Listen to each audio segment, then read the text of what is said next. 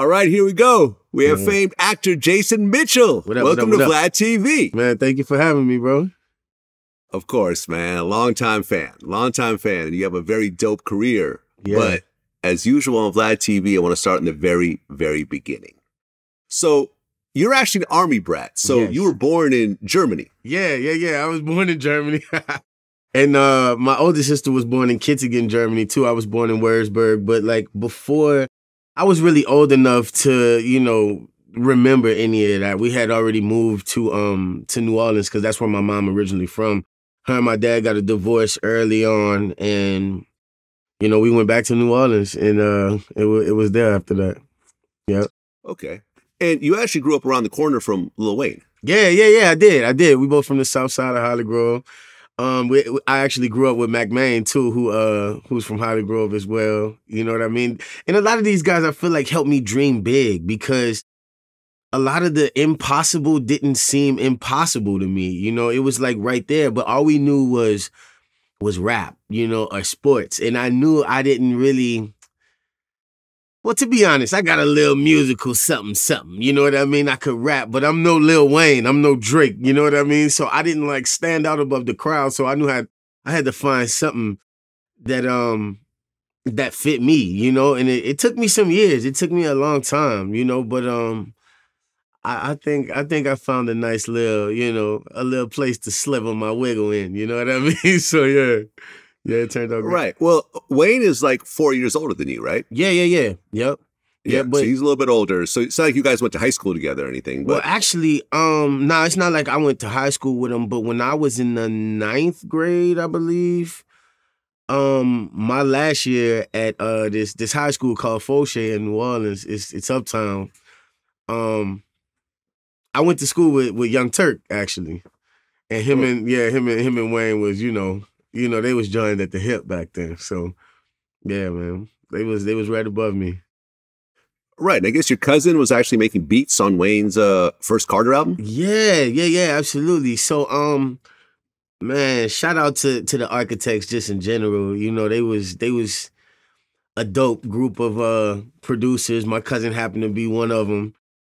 And they had this, they had a few studios actually, but that's when I actually first got to meet Wayne and really watch him. And I watch him record so much stuff, the prefix, a lot of the stuff from the first Carter. And that's when he and I really became friends.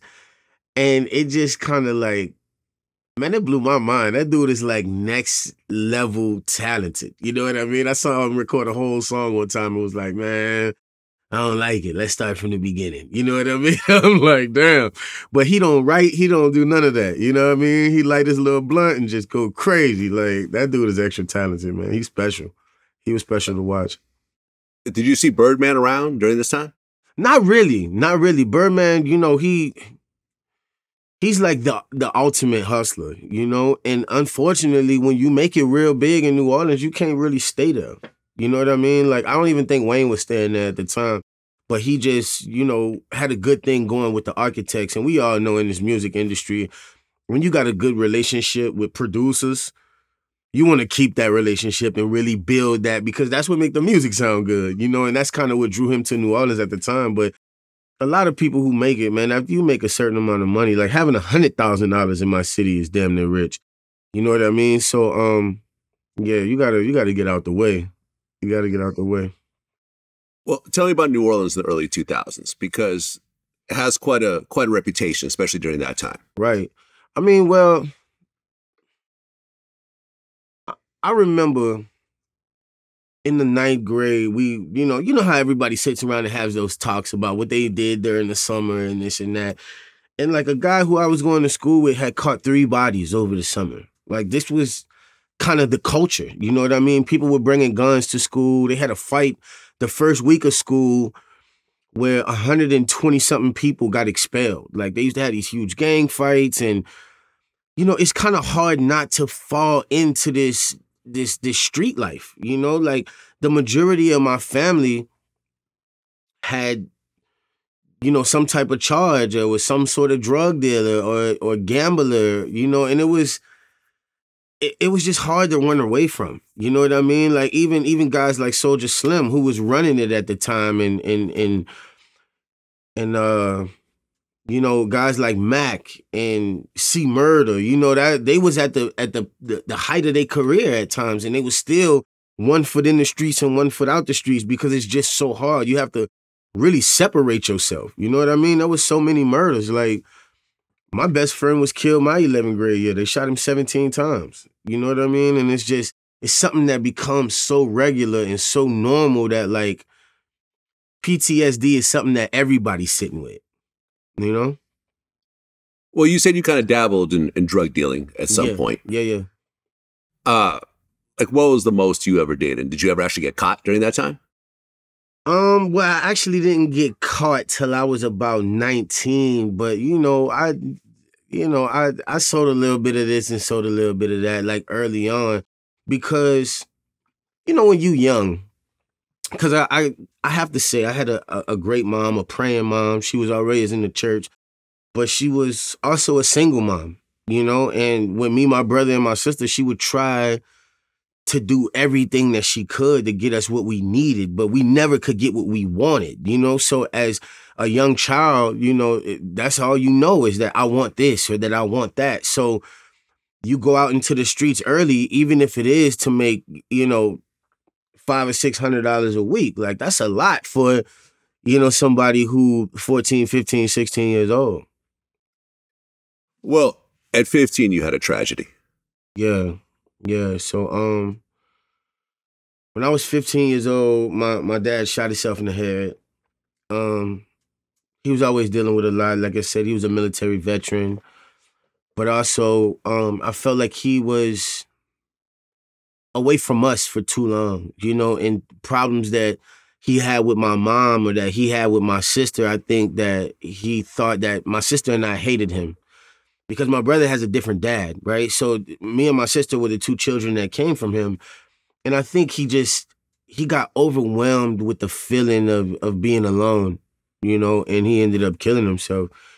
And uh I remember telling my mom like one day like I'm in my room and I'm like I just don't feel like going to school today. So I, I go to my mom and she's in the kitchen and she used to work overnight, right? So she's like in there making breakfast. And the only time this would normally happen is like when we taking like the LEAP test or some kind of standardized testing where, you know, they say eat your breakfast in the morning and all of these things. So I'm already kind of looking like, this is different, you know? And she uh she says, um, you know, like how you feeling this morning or whatever. And I was like, actually, I just don't feel like going to school today. And she was like, Well, you don't have to. And in my mind, I'm thinking, I need to do this more often. You know what I'm saying? I need to be like, hey, you know, give give me some time to myself sometimes, you know, and see how it turns out. And she was like, you know, your daddy killed himself this morning. And I was like, no, I didn't I didn't know that. You know, and uh still to this day, I've never cried about it. My sister took it so hard and like was just screaming, crying like for for almost an entire day. And I just I couldn't even take it. And I just remember, you know, um, that being this strange sort of breaking point for me where I felt like I became the man of the house um, without any sort of preparation for it. You know, it was a scary feeling. I I miss my dad. Yeah, I'm sorry for your loss. I lost my dad a few few years ago also, and um, it's nothing quite like losing your dad. I became more emotional afterwards. Like I cry easier now than I did back then because of that. So, yeah, man, I'm sorry. Yeah, man. I mean, you know, not having your father in your life affects you more than you know. Because when you young and you have something like that happen, the first thing you do is like you get angry because, like, I feel like we could have talked about it or he, you know, it it would just been nice to have my dad here. You know, like an interesting fact about my dad actually that I didn't find out until after he killed himself was that he was one of the uh, fight coordinators for uh I believe it was Enter the Dragon, something with uh with um uh, Bruce Lee, Bruce Lee and Chuck Norris. Is that Enter the Dragon? I think so. Yeah, but he was he was one of the fight coordinators, which was really cool. You know what I mean? Because you know, he was a green beret and basically like a weapon, which was kind of dope. Yeah, so yeah, it's actually the way of the dragon. The way of the dragon. Okay. Yeah, yeah, right. yeah, yeah. but yeah, my dad was a fight coordinator on that, and like, who knew? You know what I mean? He'd be proud as hell to know I was an actor right now. So, yeah, man, shout out to him. Well, you're going to school and you graduate high school, and I guess you were planning on going to college, but then Katrina ends up hitting. You know, it was interesting because like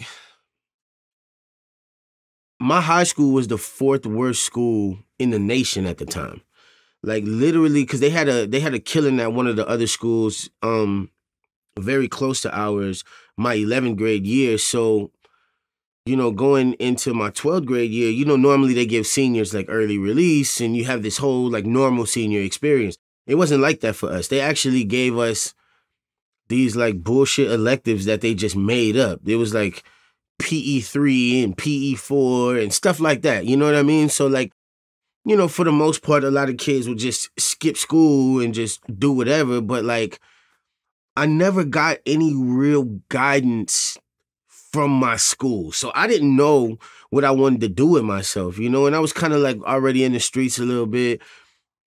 So when Katrina hit, a lot of people was taking opportunities to like, you know, go to Grambling and go to all these different places. And I'm like, yo, bro, honestly, I don't really know what I want to do with my life enough to go to college because you know, rather you believe it or not, like Sallie Mae gonna be on your ass. You know what I'm saying? They might be giving you this this free ride right now because of because of Katrina, but like college ain't gonna be free. Like I don't care what y'all say. You know what I mean? And I was too afraid to to go to college for like general studies or something like that and then end up in debt and still not knowing what I wanted to do with my life. And to be honest, that happened to like a lot of my friends and and family as well. You know what I mean? They just ended up in debt. And me, I try to just jump straight into the work world. So um I kind of started picking up little uh little odd crafts, you know what I mean? And um I found cooking and and I started doing like electrical work as well, you know what I mean? Still kind of one foot in the streets and just doing whatever I could do to make me some money, but that also um I could be the boss of.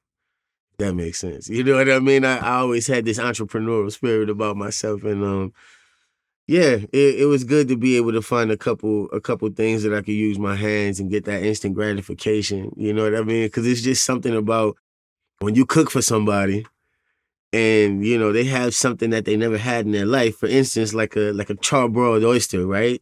They're famous in New Orleans, and a lot of people like, man, I don't eat oysters. If I make you some oysters, you're gonna love them.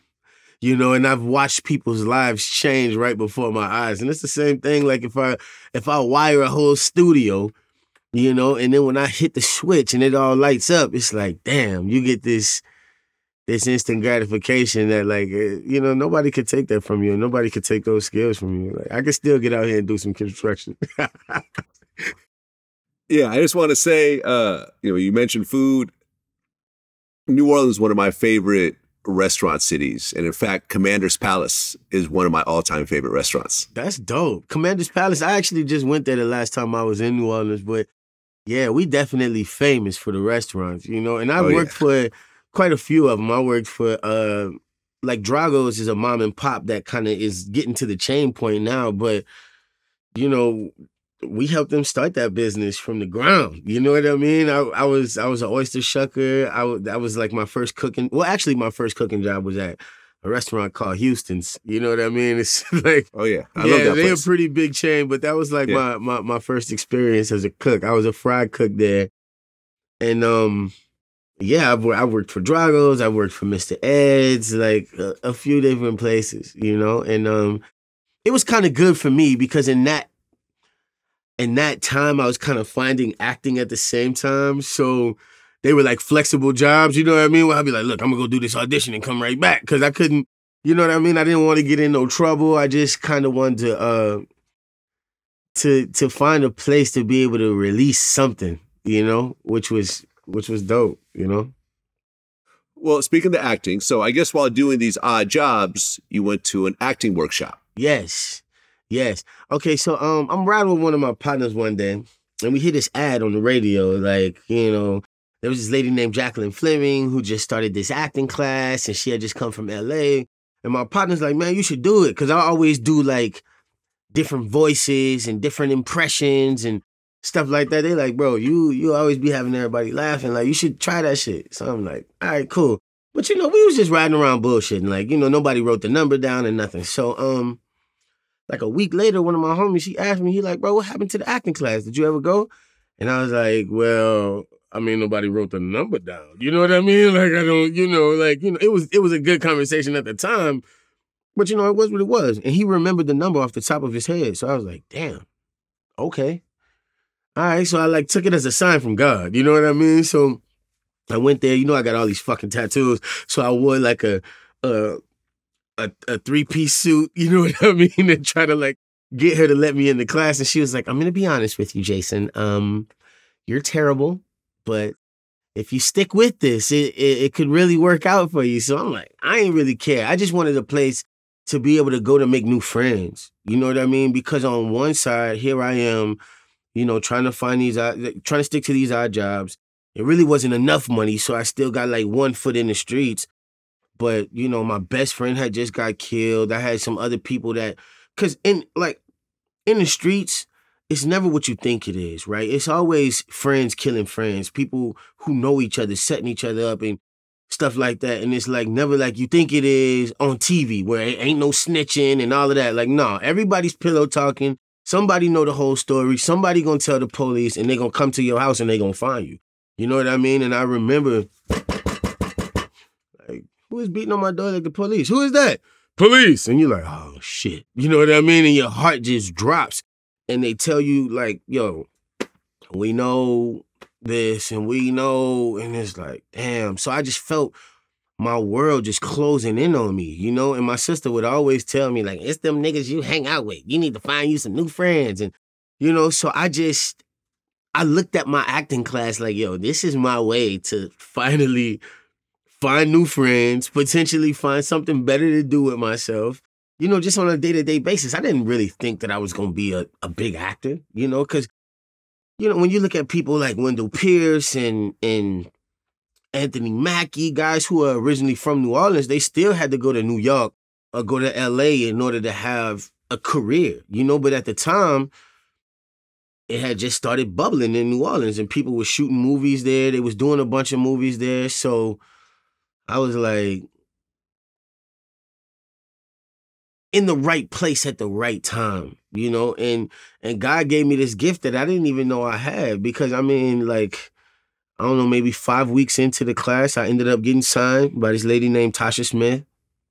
Um, I got maybe I don't know four or five auditions, and then I ended up booking this thing called Texas Killing Fields with uh with with Jason Clarke and Sam Worthington you know, and Chloe Moretz, you know what I mean? But at the time, like, I'm fresh out the hood. So I'm like, you know, there's a bunch of white people in this movie. You know what I'm saying? I don't really know these people like that. So all I could think was, I need more, I need more, I need more. Like, I was never an extra on set. I didn't know anything about it. Like, Chloe was literally walking me around, like skipping, like, come on, I'll show you, you know, and like taking me to the to lunch and they got a bunch of extras sitting on the other side and there's this huge table of food and she's like, yeah, get whatever you want. And I'm like, you sure? Like, she was like, why they can't? She was like, no, this is for us. They have to wait until, you know, after, after, um, after we eat and to eat. And I'm like, what? So I'm just getting this, like, this, this, uh, this push to the front of the line. You know what I mean? And it's, it's all God's work. But I, like I said, I just happened to be in the right place at the right time. So, um, yeah, I ended up doing two more movies with, uh, with, with Mark Wahlberg, Broken City, and Contraband, and I did this other film with uh, Cung Le and uh man, why is why am I drawing a blank on his name right now? Um, Jean Claude Van Damme. ah, yeah, okay. yeah, yeah, which was crazy, you know. But all of this stuff was like in New Orleans or, or neighboring cities. You know what I'm saying? So I could literally jump in my car and drive and be what they call a local hire, you know, but I was just really lucky at the time. And what's so crazy about it is that to be honest, I first jumped in this thinking that I would have to wear this mask and be afraid to be the person who I was and have the the experience that I had. But honestly, those first four roles that I booked, you know, were like off the things that I were trying to hide, you know, my tattoos, my accent. You know, people loved it. They was like, come on, nah, you know, he has a beautiful smile. You know what I mean? Like, nah, let's do it. I remember when um when we worked with Bolt on uh on contraband, he was like, um, let's let's uh should we go shirt on or shirt off? And then Bolt's like, let's see it with the shirt off. And I take my shirt off and I got all these tattoos. And he was like, definitely shirt off. We're gonna use that. So I'm like, damn. You know, so it was it was just a blessing to be able to um be embraced by this world that I thought was gonna push me out. You know, and then um I did those four movies and then after that, of Compton, it took off. So Contraband with Mark Yeah. Wahlberg. Yeah. That was your first like kind of big international release. Yes. Right? Yes, yes. And they're about to have the premiere in France. They're gonna fly you out. But things didn't go that way. Right, right, right, right, right. So um I was actually doing like this this small play at the time, right? And uh we're leaving rehearsal and we get pulled over because we're like in this Monte Carlo. But apparently this Monte Carlo uh like the that was like kind of like the it car at the time, right? People were in the Montes and stuff and um it fit the description for some sort of robbery or something like that. So they pull us out thinking it's about the robbery. And they got this whole charge on there, like, yeah, so they take me to jail to like violate my probation, right? Because I was on probation at the time. So they violate me, sit me down for like 90 days, bro. For nothing. It was just something I didn't I didn't even do nothing. And I'm sitting there reading the newspaper, you know, watching the commercials on TV. Like, bro, I'm in this movie. I'm supposed to be in France at, you know, at the at the premiere, and everybody's like, man, whatever. Actors don't go to jail, man. You tripping? You know what I mean? And I'm like, no, seriously, bro. I'm supposed to be in here, and it was like the worst feeling in the world. Like, damn, how do I just keep backtracking? You know what I mean? As soon as I think my blessing falls into my lap, this is like the first international open like this. You know what I mean? Nobody had ever done that before Mark Wahlberg. So um yeah, supposed to be in France and and just really felt down about everything. But it was like a blessing in disguise, right? Because I was really on probation for Texas, but um the way it works is like if you're in a neighboring state, you can pay them like an extra 25 bucks a month to your probation officer or whatever and just report to them. So my probation officer never reported to Texas at all. So to Texas, they're looking at it like, oh, okay, well, you just are delinquent. You ain't been paying us. You ain't been coming to see your probation officer. And I'm like, no, I got everything. I got all my receipts. You know what I mean? So they they waited until literally day 89 of these 90 days to come pick me up from from New Orleans to bring me to to Brownwood, Texas, right? So they got me shackled like a dog in the back of a, a charger between two other guys. And we we take this like 15 hour ride in the back of this charger, just balled up. And I get there and um I, I see a judge maybe after maybe like two days or something like that. And I'm like, nah, you know, I got everything. I had my mom bring all my receipts. and um not only did they, you know, accept my my story, well, not my story, but my plea, but they also let me off probation after that. And it was like the blessing that I needed because I couldn't just leave the state. I couldn't even just leave the city without, you know, some sort of permission to do so. And right after that happened, it it kind of was the door that I needed to open for me to be able to go do straight out of Compton. Okay, so let's talk about Straight out of Compton. So you've gotten a few roles. I mean, they're not major roles yet. Right. How did you first hear about Straight Outta Compton? So I had been reading for some big for some big roles like for a while. You know, like I read for um this movie called uh The Lottery Ticket with Bow Wow. And I'm going back and forth to Atlanta, like, you know, doing a bunch of auditions time after time after time, just what they call chemistry reads, right? Like like Brandon T. Jackson actually was the guy who ended up getting the role that I was going for, you know? So they were looking for like this like little gang of people who hung out on the porch and, you know, would kind of uh, have these scenes with Bow Wow. So this guy, I never forget him. His name is Mark Fincannon. He pulls me out of the room. He takes his glasses off and he was like, Jason, you're gonna have a great career. But unfortunately, on camera, you look too much like Bow Wow. And unfortunately for you, the world knows who he is. So he's gonna sell more tickets, you know? And like it would make sense if you guys were like brothers or something in the movie, but we need somebody who doesn't look too much like him. So I'm thinking to myself, fuck, like this is just so discouraging, you know? So my agent, she knew I was kind of going through this, right? Because every actor has this happen. Like you get so many more no's than yeses. So she pulls up to my house one day, which she never does, and she was like, I got something for you I think you could really, really get. I'm like, what is it? So she's like, yes, yeah, it's, it's this movie straight out of Compton. They they they um they gave you an audition for Easy E. I'm like, wait a minute. You know, so uh, they got some swing and a miss out there. I'm not gonna lie. You know, normally for these uh these biopics, like they're hard to land. Like a lot of people have tried, and the movie was a swing and a miss. You know, so initially I'm thinking to myself like, if this ain't gonna be some crazy big picture movie, like it could be the wrong thing for me to do. And she was like, nah. Ice Cube's involved, Universal's involved, Dr. Dre is involved. I'm like, oh yes. So they ain't gonna mess it up. Like they ain't gonna mess up their own shit. You know what I mean? So I'm like, all right, let's do it. So what's funny about this whole situation, like I, I was saying before, I used to do all of these different impressions.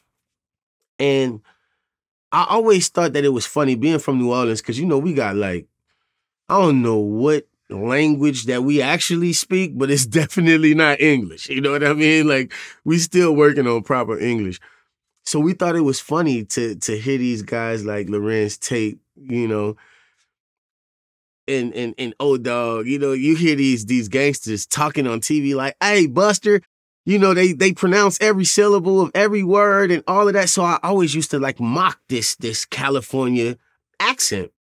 So I'm thinking to myself like, I might be able to really do this, you know? So I go over these scenes. It's like five or six scenes. And um I go to this lady Megan Lewis and and we put it on tape, right? And Megan, she's like she's from Boston, so she's every bit of Boston. She's one of those casting directors who actors fear. Like she she's not there to be your friend at all. You know, she's just really not friendly. But after this specific audition, you know, I'm I'm crying at the end because it was like these uh the hospital scenes that I had to do at the end, right? So I'm like crying, butterflies are leaving my stomach. I'm like, oh, I got through it. So I look up and Megan's crying, and I'm like, what? She double high fives me, walk me to my car. I'm like, wait, this is not the Megan Lewis that I know. Like, you know, this is a whole different lady for sure. But she was like, nah, like I really, really think that you can get this. So I'm like, all right. So maybe like 30 days passed, bro. I'm thinking, you know, I might have did a good job, but like they ain't gonna call me. And then they call me and they like, F. Gary Gray, the director wants to um have you fly out to uh Los Angeles. And I'm like, well, you know, the way my life's set up, you know what I'm saying? I can't exactly just move around like that, right? Because this was before the probation letter came that said that I was free. So um I'm like, ah, I don't really know if I could do that you know, and uh, I don't know if I can afford that because if I come out there and it's not a for sure yes that I got the part, like it could be just wasted money, right? So this is before Zoom and all that. This was when Skype was out. So he was like, uh, they called me back in like 30 minutes and was like, he just wants to Skype with you. Like, okay, cool. So um we Skyped for an hour and 17 minutes. we did i mean it's just like me and you on this virtual situation right now like eh, you know we was going back and forth at it at it at it and then um yeah man that's how i booked straight out of compton without even flying to california i had ever been to california ever in my life like you know yeah it was it was a big deal how'd you feel when you were told that you got the role?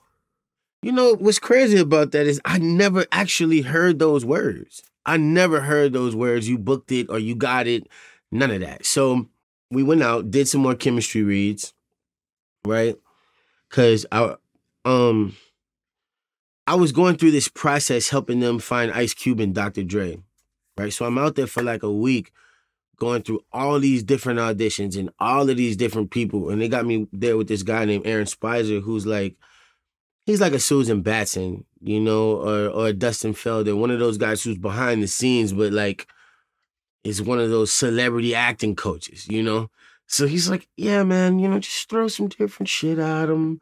You know, just just take your time when you're doing this. Just give him good stuff to react to. You know, catch him off guard, punch him in the face. I'm like, okay, you know. So I'm just doing what I do, but in my mind, I'm thinking I don't see no other person who's auditioning for Easy E. But at the same time, from what I heard, his daughter wanted to play it. One of his sons wanted to play it. Like, you know, so wait, I wait, know. wait, wait. His his daughter wanted to play Easy E. Yeah? E- EB was like, yeah, you can dress me up and you know, makeup can make me look like a guy. It'll be like an Oscar-winning performance. You know what I mean? Like she Okay. definitely wanted to try. She was like, I look so much like him. I was like, all right, you know what I mean? But um, Yeah, okay. so so yeah, uh, on the day, um, I I never forget. I when I first met O'Shea, they were like, you know, what is so? Who do you think should play Ice Cube? And I pointed him out, and I'm like, you know, he's he's great, you know, but they didn't really believe in him that much because he had never really acted in nothing else. He had been working with uh, Susan Batson for like the last two years though, but I'm like, he's raw, but he's good. You know what I mean? And he looks freakishly like like Ice Cube. And I didn't, you know. So I, I look on the paper and I see his name, and I'm like, yo, O'Shea Jackson Jr. You know, I'm just using my better judgment, and I'm gonna go ahead and throw this out and say you're his son. And he was like, yeah, yeah, you know. And I, I just couldn't believe that they had him sitting through this process, right? And it wasn't until then that it clicked in my mind, like, wait, I might be the only Easy E, right? So, um, I asked Aaron, I'm like, bro, is there anybody else like auditioning for Easy E? And he was like, do you see anybody else? And I was like, what the fuck, you know? So I went to somebody else, a producer, uh, my friend Mercedes Lindsay. I went to her and was like, is there anybody else? She was like, do you see anybody else? I'm like, what the fuck? Why is everybody giving me the same answer? Right. So they ended up flying me back home, and then a week later they called me out and they was like, Yeah, um, we're ready to start pre-production, so you guys can start rehearsals and stuff. And I was like, So I got it? They was like, Oh yeah, um, your agent didn't talk to you? And I was like, What the fuck, man? Nobody ever actually said the words, you got the role. Not even my agent, which was crazy. So I was like, damn. So it was one of those moments where like I had to look myself in the mirror and be like, you got it. yeah, crazy. Well, I did an interview with Lil Eazy hmm uh, around the time of that movie, hmm and he really felt like he was going to get the role because he looks like Easy E, right? Same builds, same you know complexion, same facial features, and everything Right. else like that. But he ultimately didn't get the role, and he felt some type of way about it, especially because Ice Cube's son got to play Ice Cube, whereas Easy E's son didn't get to play Easy E.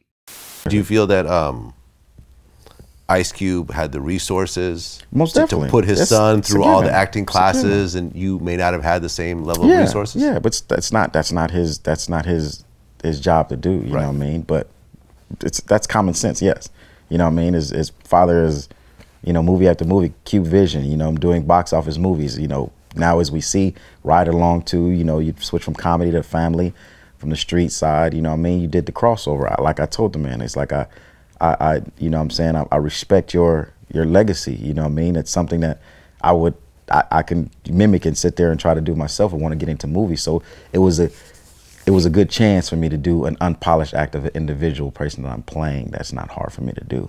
You can ask his mama. Right.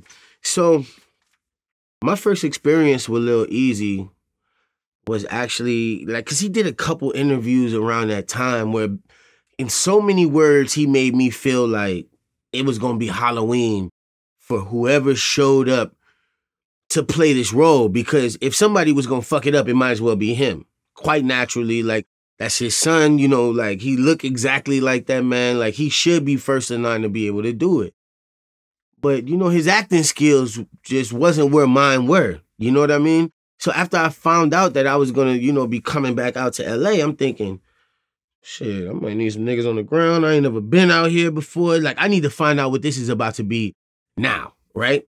So I get on Facebook. I find everybody that I could find that's related to Eric, just period. So I end up getting his number and called him and was like, bro, we had like a three hour conversation. You know what I mean? And after I told him how I felt about it and and what it meant to me and me being from New Orleans, you know what I mean? Cause he was like, the worst feeling in the world for him would have would have been some British actor or some shit that came in that didn't know shit about this whole culture and just messes it up.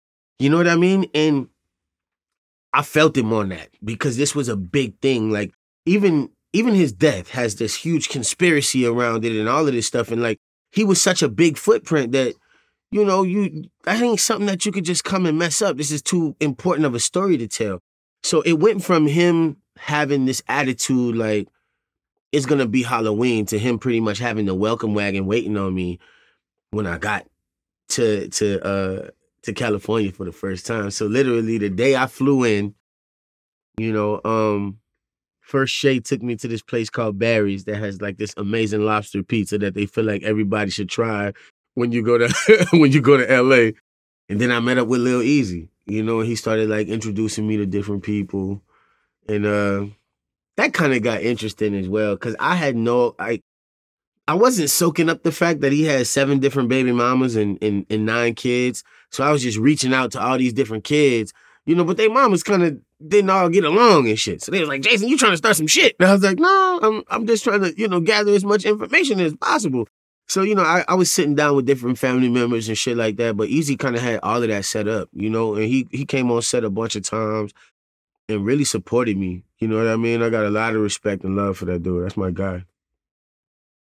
Well, yeah, and just to be fair, O'Shea Jackson Jr. went to USC Film School.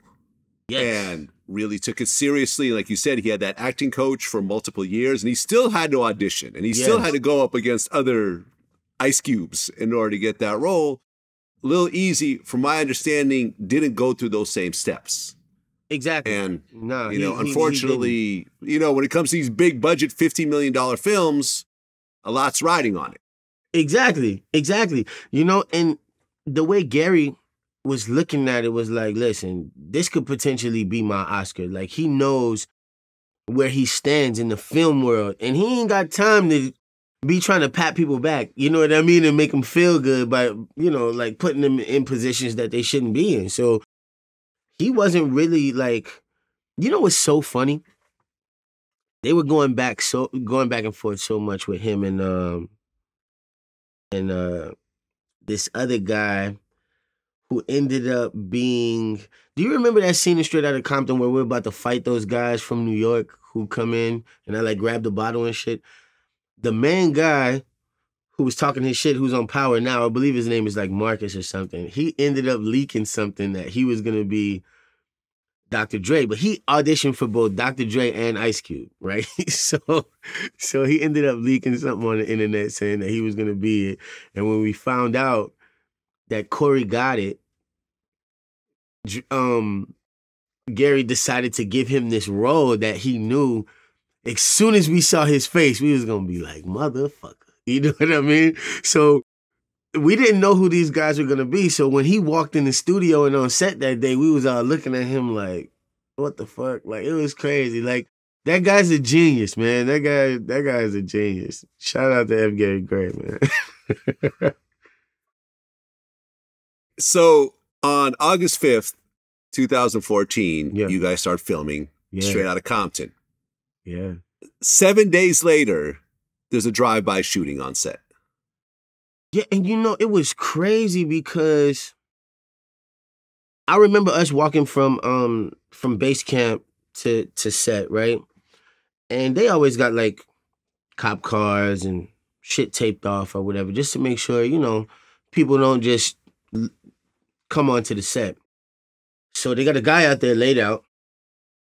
Cop cars are there and shit, and um, they're like, "Nah, you got to go around." And we like, "Hey, we part of the movie." You know what I mean? You don't see the get up. You know what I mean? And he was like, "This ain't a part of the movie." We was like, "What the fuck, man?" It was crazy because all of these people who are out watching this happen, it didn't hit them that that this wasn't part of the movie. So they literally watched this broad daylight killing, and then it wasn't until like 20 minutes later that everybody was like, "Oh my god, this is real."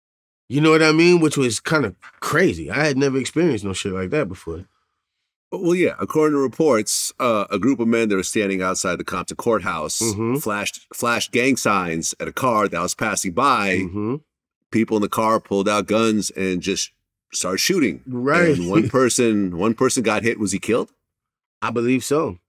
Okay. I believe so. Right. Yeah. No one, you know, around the production was hurt, but the production was supposed to be right there. So here you are seeing this insanity in, in Compton, and it's like, yo, what the hell? Yeah, it was crazy. I was just like, you know, for me, because there were some things about the gang culture that, like, you know, I had to learn and go study myself. But a lot of stuff production to help you out with, right? Like, if you feel like you need a dialect coach or you feel like you need a nutritionist, whatever, like, you know, they'll help you out with that. But I asked them, you know, like, can y'all bring me, you know, to where Easy is from? Like, can I go to Kelly Park and can I go to these different and they're like, hell no. you definitely can't do that. Like it's it's too serious. And I was like, you know, I'm from a dangerous city. Like, come on, man. Like it can't be that bad, right? So I remember going down there, like by myself. I ended up getting somebody else to take me, right? So we go and I see Piru Street for the first time, and I'm like, oh, this is where Piru comes from. So I get out of the car to take a selfie, and everybody like, no, no, no, no, no, no, no, get back in the car. Like, no, we can't do that. You know what I mean? Like, you're taking this shit too far. So I'm like, what is happening? Like, I don't see nobody outside. And they was like, yeah, because they got laws that literally, if you're three or more people standing outside in these neighborhoods, they could just come pat you down. Because the gang shit is crazy. You know? And at first, I think I was taking it very, very lightly until, you know, we saw that. And that shit was a trip. I'm like, it's crazy. You know what I mean? Because it, it's really as simple as, hey, where you from, homie? And then if you feel like you from a gang set and they about to back out on you, you just back out on them and they just start shooting at each other instantly, just off those few introduction words. You know what I mean? Which is it, it was it was kind of a culture shock for me. You know, it was it was, it was crazy. I didn't seen some violence, but that shit was different. Well, yeah, I remember my first interview with Lil Eazy. This was this was before VladTV. This was like maybe 2006 when I was still doing DVDs, and he asked me to meet him at his at you know Easy's grandparents' house, Right, right, right. in in Kelly Park, I believe. yeah, right. yeah. So so I pull up and I'm you know this was I'm broke I'm by myself I'm holding the camera you know Right. I have I have no one with me I, I have no weapons on me nothing but okay I'm getting this interview right Right. so so we pull up and you know he he comes outside he meets me you know we find a little spot you know by the car that we're gonna film him outside and I'm, I'm I always remember this me and him actually talked about this in our interview before the interview started someone walked up to him and handed him a pistol he he tucked the pistol in his you know in his pants this is Mhm. all off camera this is not him fronting for the camera right Right. he he took took the pistol in his pants, and we start doing the interview.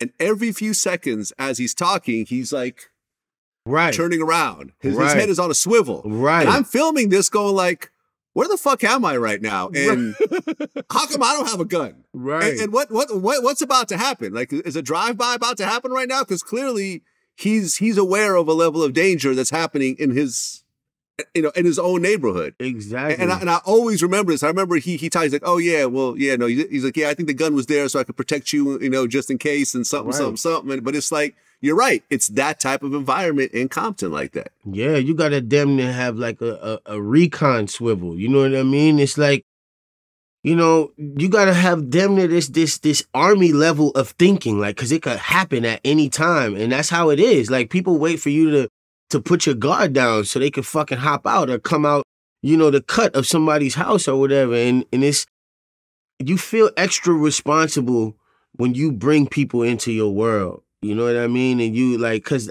I, I got to go to that same house actually, but again, couldn't get out the car because they're like, how we gonna explain this to, to production if some shit happened to you, you know?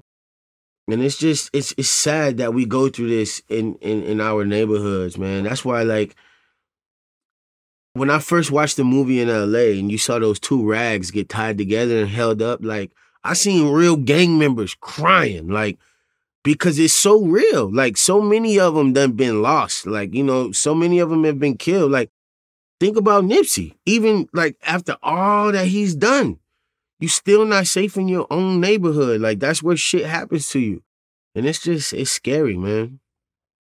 It's scary. Well, you guys are working on the movie, and Dre and Cube and Yella are all heavily involved in it. Yeah. They're on set all the time and everything else like that. And there was this one instance when uh, you were at Roscoe's with your mom and your stepdad, Yeah. and Dr. Dre pulls up. Yeah, yeah, yeah. So he's like, he calls and he's like, bro, where you at? And I'm like, I'm at Roscoe's with my mom, you know, my stepdad. And he's like, did you drive? And I'm like, nah. He was like, good, I'm gonna send a car. Y'all gonna meet me at Jimmy's. I'm like, okay.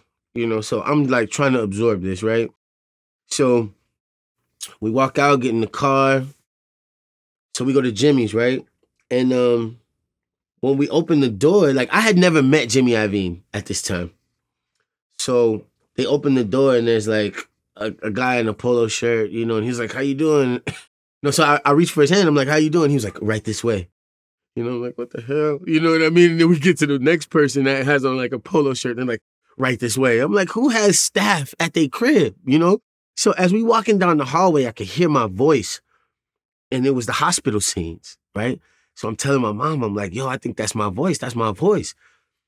And like by the time we got to the end of the hallway and we could see the TV, I already had tears in my eyes, right? And Dre just starts cracking up laughing. Like I knew we was gonna get him. I knew he was gonna get him. And um, yeah, man, that was that was my first time seeing those hospital scenes with Dr. Dre, Jimmy Iovine, you know, his wife and kids just sitting there on his couch, like chilling in his crib. And it blew my mind, man. It really did. Like, and that's a moment I'll never forget for sure. For sure. I'm super thankful for those guys. Well, you guys are still filming. The movie's coming together. And then January 29th, 2015. Suge Knight decides to show up to Compton. Right. Uh, apparently, he's unhappy at the way he's being depicted in the movie, and also he's not getting paid for his depiction. So, Suge, being Suge, uh, him and Terry show up to Compton. There was a couple different movements that happened, but ultimately, he ends up getting into it with uh, Bone. He starts getting beat up in the car. He backs up, and then he goes forward, ends up running over Bone, and ends up killing Terry. Yeah, so I feel like they got a few different stories out there, so I'm gonna I'm gonna clear this shit up. You know what I mean? It, it- it is what it is. I wasn't actually there personally because this is when um, you know, Cube and Dre was shooting a commercial. So we all know Dre and Suge don't see eye to eye, right? But we had this other scene actually where we were shooting um the very beginning of the movie when I'm walking up to the trap house. The night that we shot that, there was a a rumor that the Bloods was gonna press us for Suge, right? Mm. So, because technically, what a lot of people don't know is after you become a public figure, they really didn't have to pay him shit. You know what I mean? They didn't have to give Suge anything. They didn't have to care about how he felt like he was depicted. None of that mattered to to Universal or anybody else, right?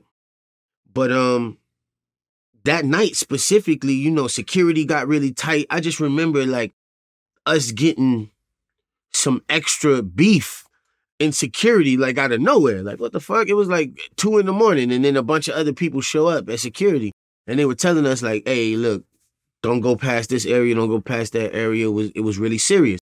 And it was something that Bone also took serious, right? Because Bone and TC, they they two people who um like if you're gonna shoot in the jungles or you gonna shoot in South Central or any like real hood in LA, these guys are gonna make sure you safe, right?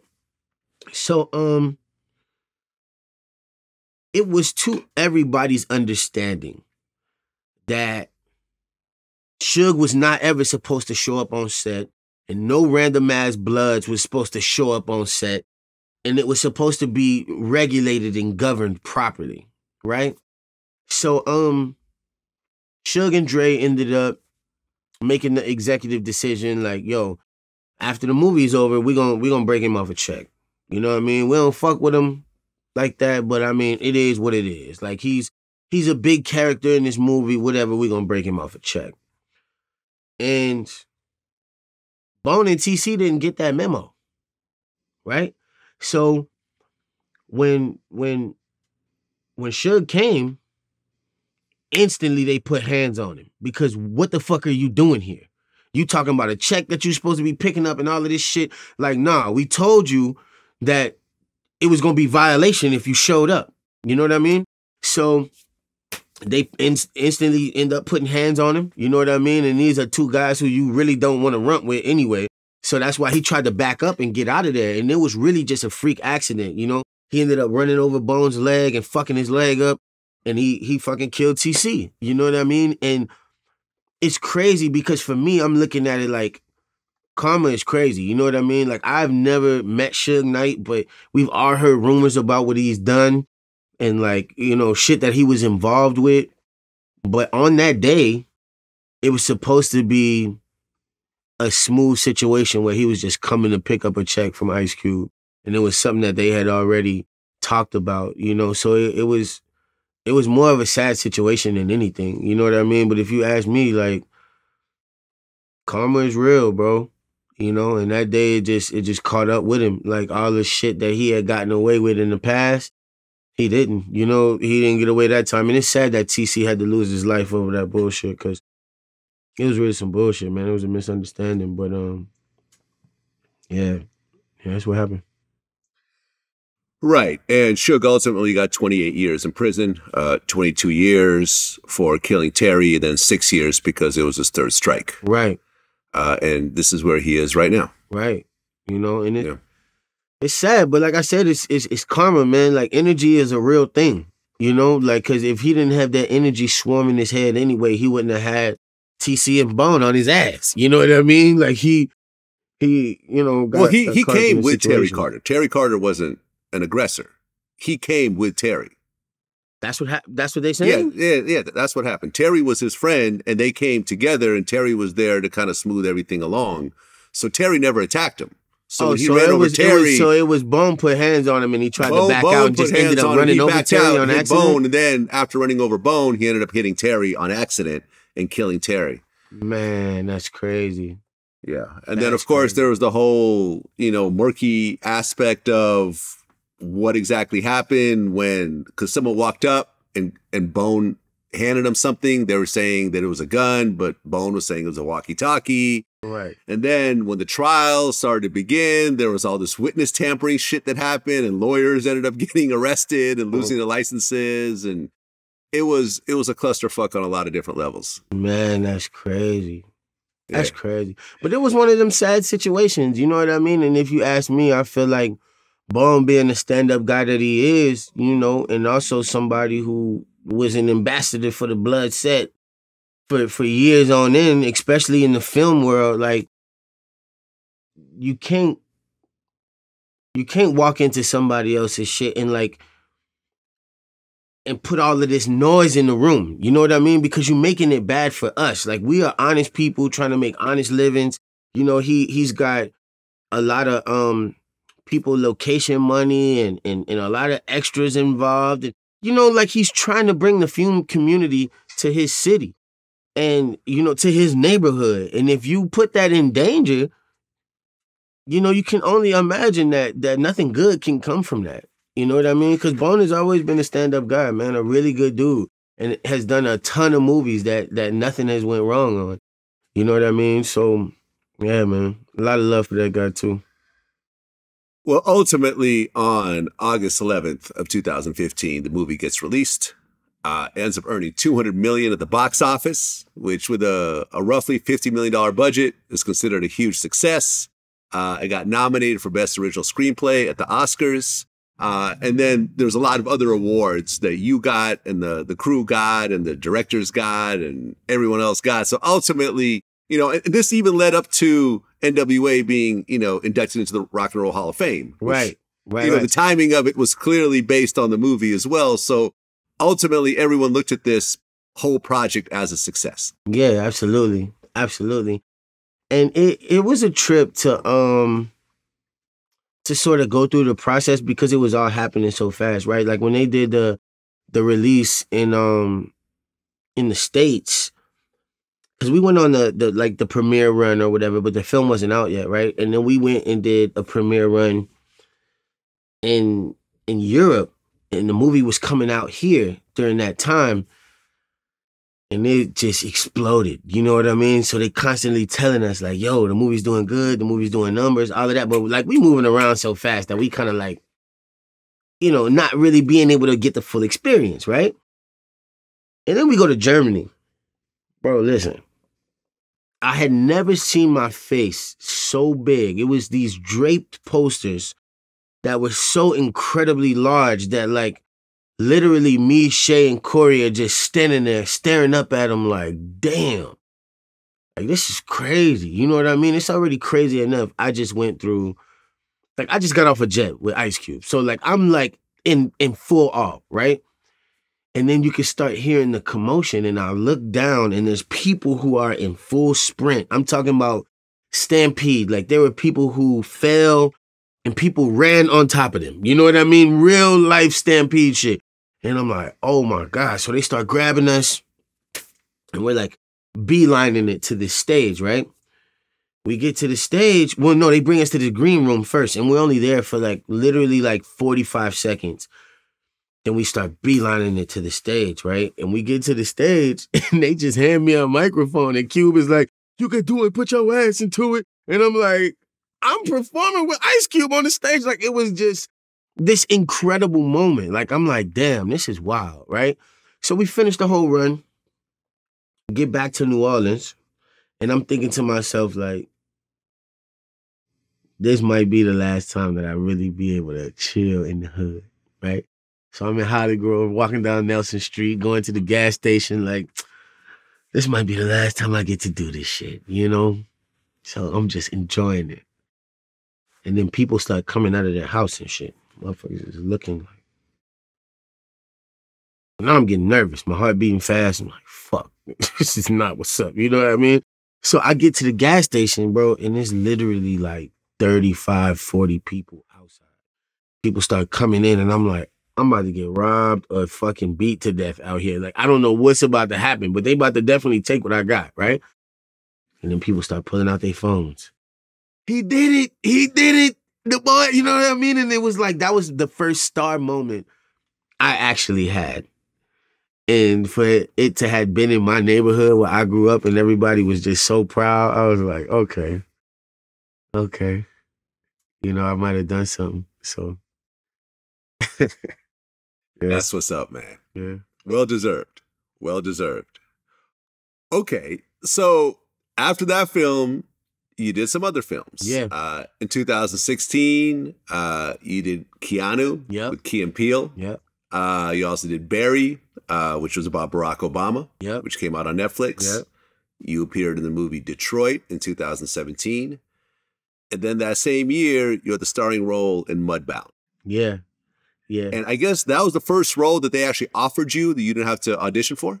Yeah, which was trippy, right? Because um I had no idea who Dee Rees was Dee Rees D was at the time. Actually, when I first met her, I I mistaked her film for Ava's film. I was like, yeah, I saw Selma. She was like, that's that's not my movie.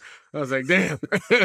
so um, you know, I had to actually end up going back and watching her film Pariah, but she just knew exactly what she wanted. She was like the most sure black woman I had ever met, right? But they was like, yeah, you know, this is this is gonna be deep, you know. So um I read the script and my agent is like, Do you like it? I was like, I love it. And they were like, Did you read it to the end? I'm like, Yes, I love it. They was like, Are you sure? I was like, listen, people, this is how it was, okay, for black folks growing up. Like, this is how shit really used to go. Like, at least I don't die at the end, you know what I mean? Like it's it, it was kind of great. But then we got on set and it was like I mean, because we went on trips when, well, not trips, but uh, field trips when I was in like the the fourth and fifth grade to these places, like the wax museums and you know the, the plantations and all of that. It was literally like down the street. You could almost see it from where we shot Mudbound. So like it was this eerie feeling of like finally I'm doing something that that means something. Cause what I did with with with NWA was great and it was like huge for the culture.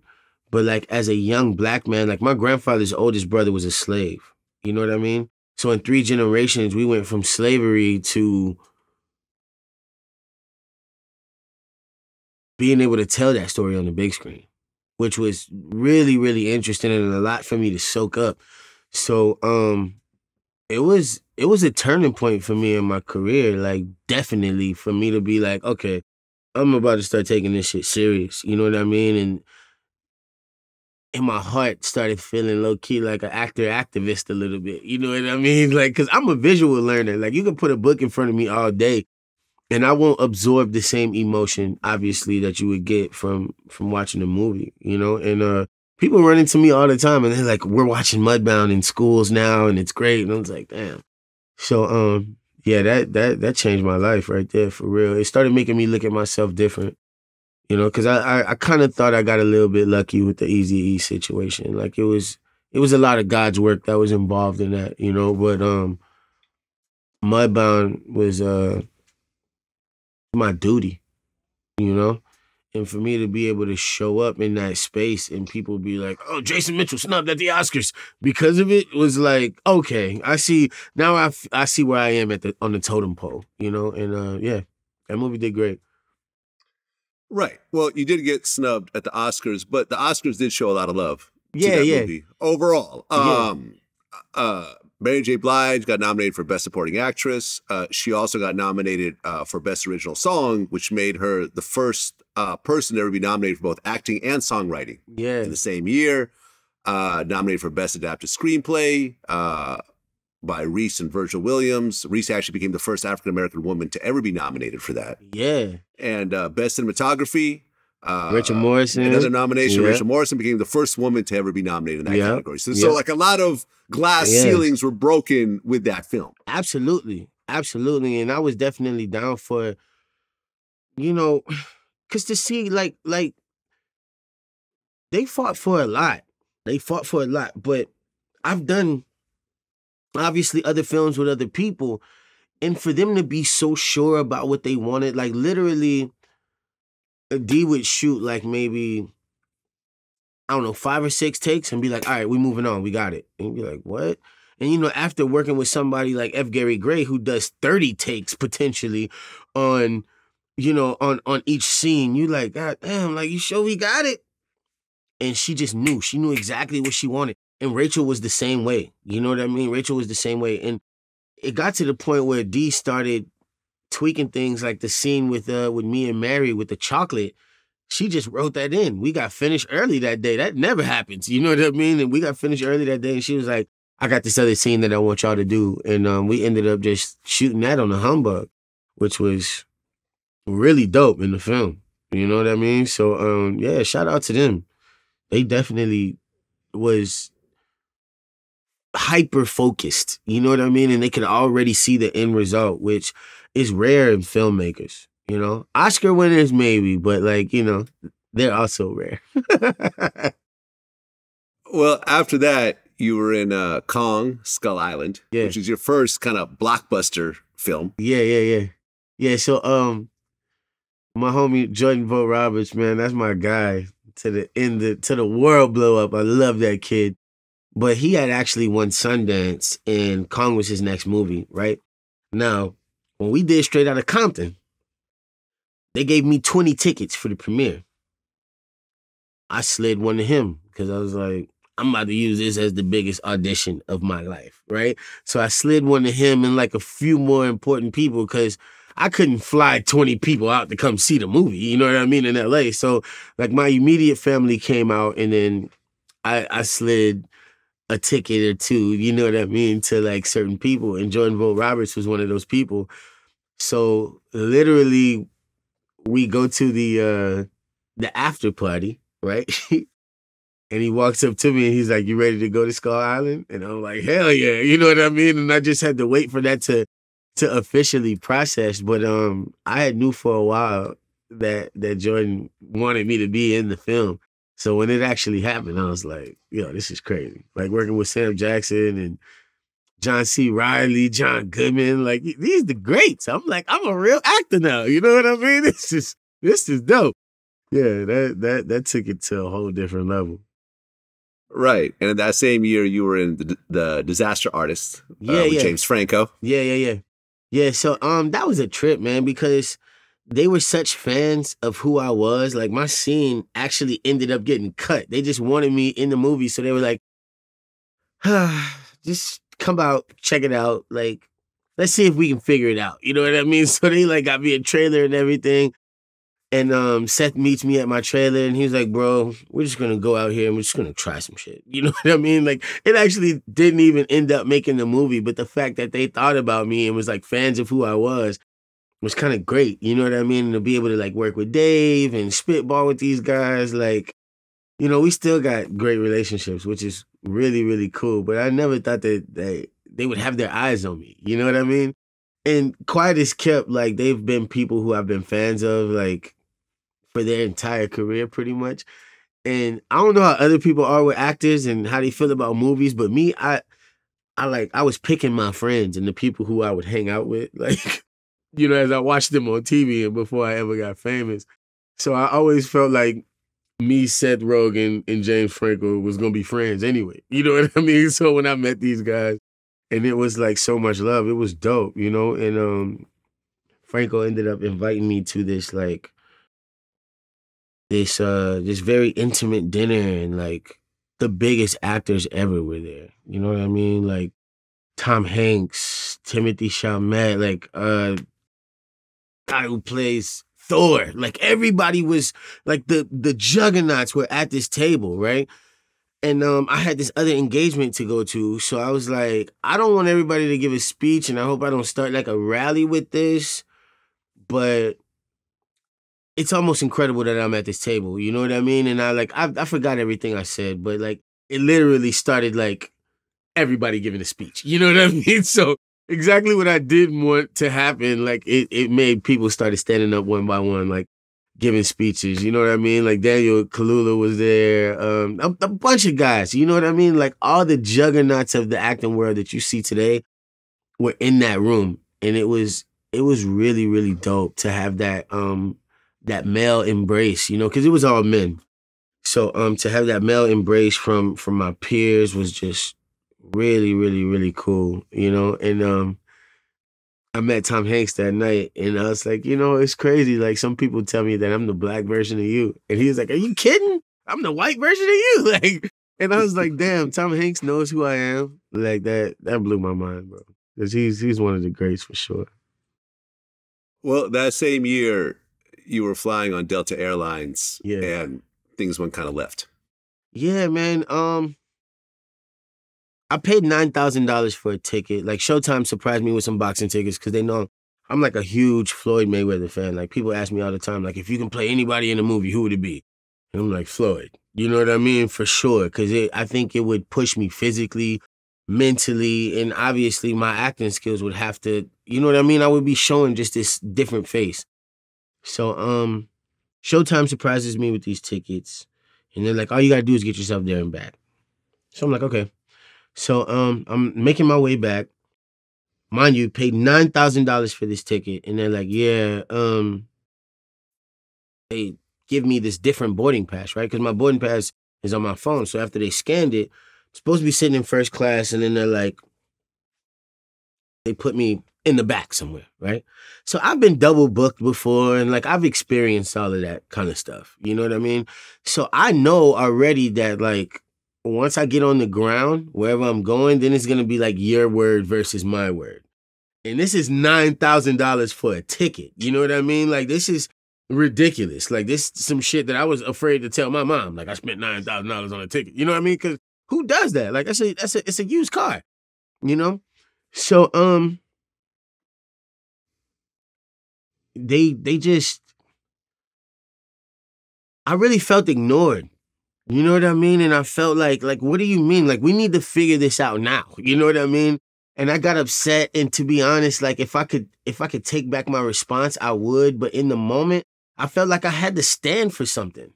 You know what I mean? I, it was like a Rosa Parks moment in real life. Like, what's happening right now? Why is it not at all urgent to you guys that I'm a paying customer that spent nine thousand on a ticket, and you feel like you can just sit me in the back and not explain anything to me or give me any points or any any nothing? You're not gonna say anything to me. They really wouldn't even look me in my face, which it and it and it hurt at the time because it was like you might as well just say, "Look, nigga, sit down." You know what I mean? Because that's that's basically what was happening without the words. You know what I mean? And it it it hurt. It hurt in the moment. You know what I mean? And I also was hurt by the fact that because what they don't show in in the video that's out, right, is that um they told everybody to to get off the plane. And I was like, why would you have everybody get off the plane? Like that's that's ridiculous. You know what I mean? Like I can get off and it is what it is.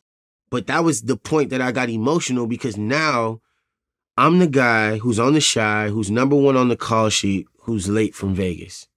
So now I'm pissed because I'm embarrassed on the inside. So it's not just my money, but now I'm embarrassed that I'm about to be coming back from Vegas late. Like, you know what I mean? Like as black young black guys, we don't get chances like that. You know, so I feel like, you know, I was I was blowing my chance. You know what I mean? And it just it hurt. It stung so bad in my chest that like I just I couldn't hold it. I couldn't hold it, you know. In moments I I wish I might have reacted differently because what I've learned is that you can only control your actions. What other people do is what they do, and you can't control that. You know, but I I, I definitely could have controlled myself at that moment. But I, I just felt like as a young black man I had to stand for something. Like, hell no, y'all not gonna do this to me today. Well, didn't you actually do a Delta commercial around that time? Yeah, I just did a Delta commercial for them. I was trying to I was trying not to be the guy to be like, do you know who I am? Like, I was trying not to be that person. You know what I mean? Like, I, I was trying to be very professional about it at first. But of course, none of that ever makes TMZ. You know what I mean? But it was it was just weird to me that I was like, yo, I just did this commercial with you guys. And and quiet is kept, like, we were represented by the same agency, you know, and I've never ever before that day, I had never ever flown with anybody else in my life. Because like I said, my parents were in the military, and the military has a thing with Delta. You know, so since I was, I don't know, maybe two or three years old, I've been taking Delta flights. I'm like a platinum customer and all of this other stuff, you know. So for them to not treat me as so, it it like it hurt a little bit. You know what I mean? Because what? Just because I'm a young black dude don't mean I'm not a platinum customer. Like, you know? And it I was like, damn. That yeah, it bothered me. It, it was some foolishness. I assume there's no more Delta commercials after that. that would be safe that was pretty much the end of your working relationship with yeah, with Delta. It, it, it'd be safe to say that you ain't gonna see me on no more of them flights. Okay, okay. So that next year, 2018, uh, you were in the Mustang, which Yeah. actually I just I just saw. Dope really? movie. Did yeah, you it's, like it's a it? it's, a it's a prison movie essentially. Yeah, yeah, yeah. Um, I You feel the like focus on honestly, was horses some and- of and my everything else best like that. acting because I was afraid of horses my Huh. whole life, and uh, I actually broke a foot as well on that movie, and it was like I just toughed it out, man. I was with a bunch of really good guys, really good wranglers, and yeah, I had a I had a great time making that movie actually. And in that same year, Superfly came out. Yeah. Yeah, yeah. Shout out to Trevor Jackson, man, and Director X and Lex Scott Davis, who who uh played Georgia in that film. Like that was a big moment for her and myself because she was actually an extra in Straight Outta Compton. Is how me and Lex met. So that was like a full circle moment for us, which was really, really cool. But yeah, Superfly was dope, man. Superfly was it was an interesting film to make. It was like collaborative on a different sort of level, you know? Because at first, you know, because when you watch the first Superfly, they got like this random seven minute music video in the middle, and we like, how are we gonna exactly work this out? You know, it was X's first big blockbuster.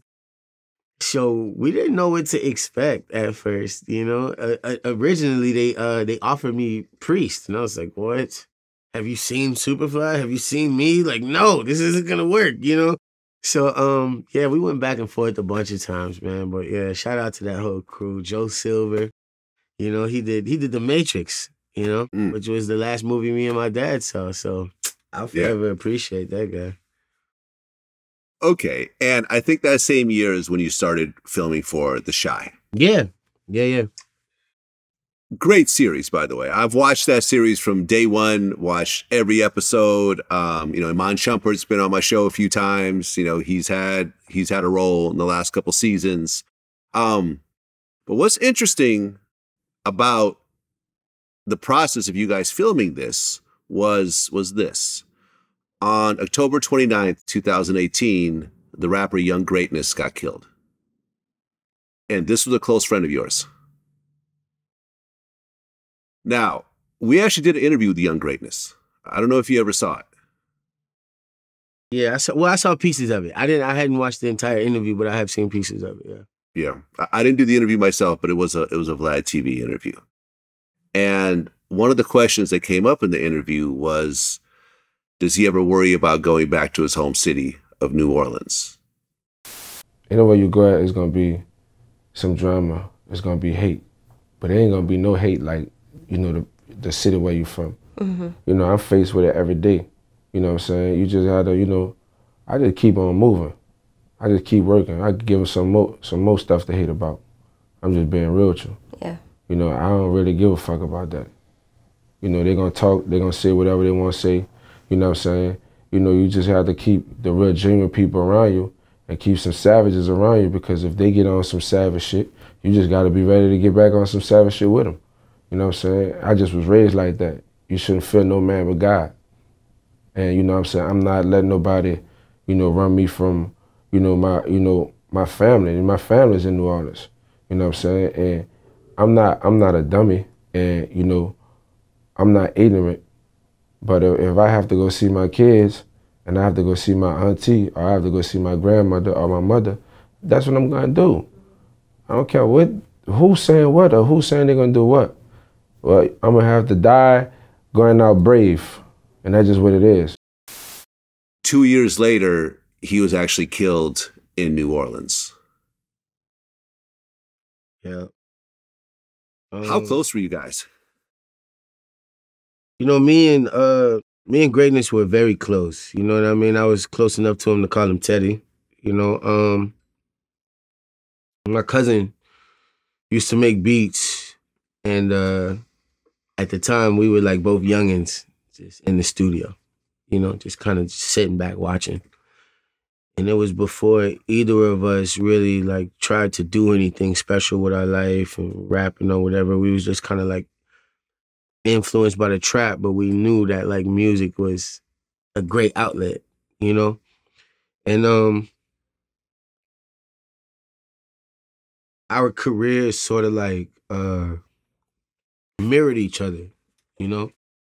And um it was just good to have somebody who uh who could graduate with me out of that space, you know, cuz you got to separate yourself from that space so much and everything you knew and you know the way you came up and the way you were trained you got to like un- unlearn all of that stuff you know? And uh and be able to move out of that space you know? So um to have somebody who uh who could do that with me was very special so it wasn't just about me and him being friends but me and him also being able to take a step that did a lot for the generation that we came from from our city you know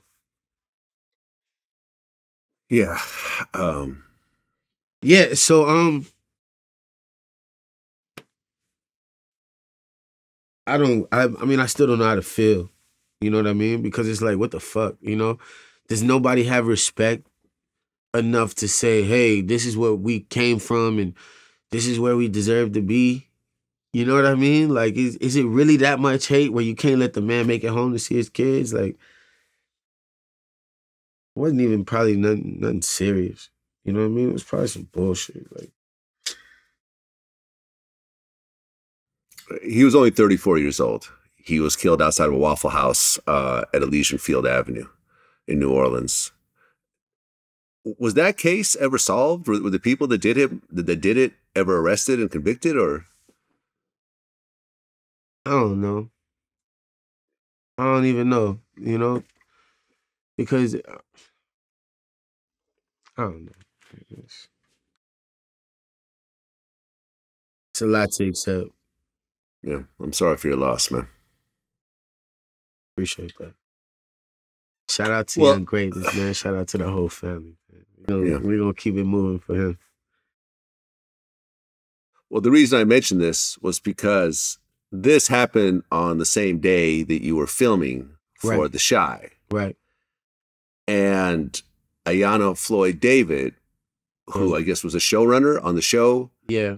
Yeah. saw that you were upset and spoke to you that day. Right. Right. Tell me about that conversation. Um, she came to me and asked me uh if if I was okay, you know.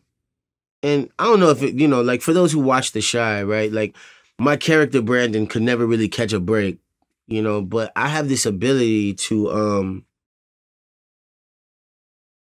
to be able to go through really tough scenes and then be laughing in the next room.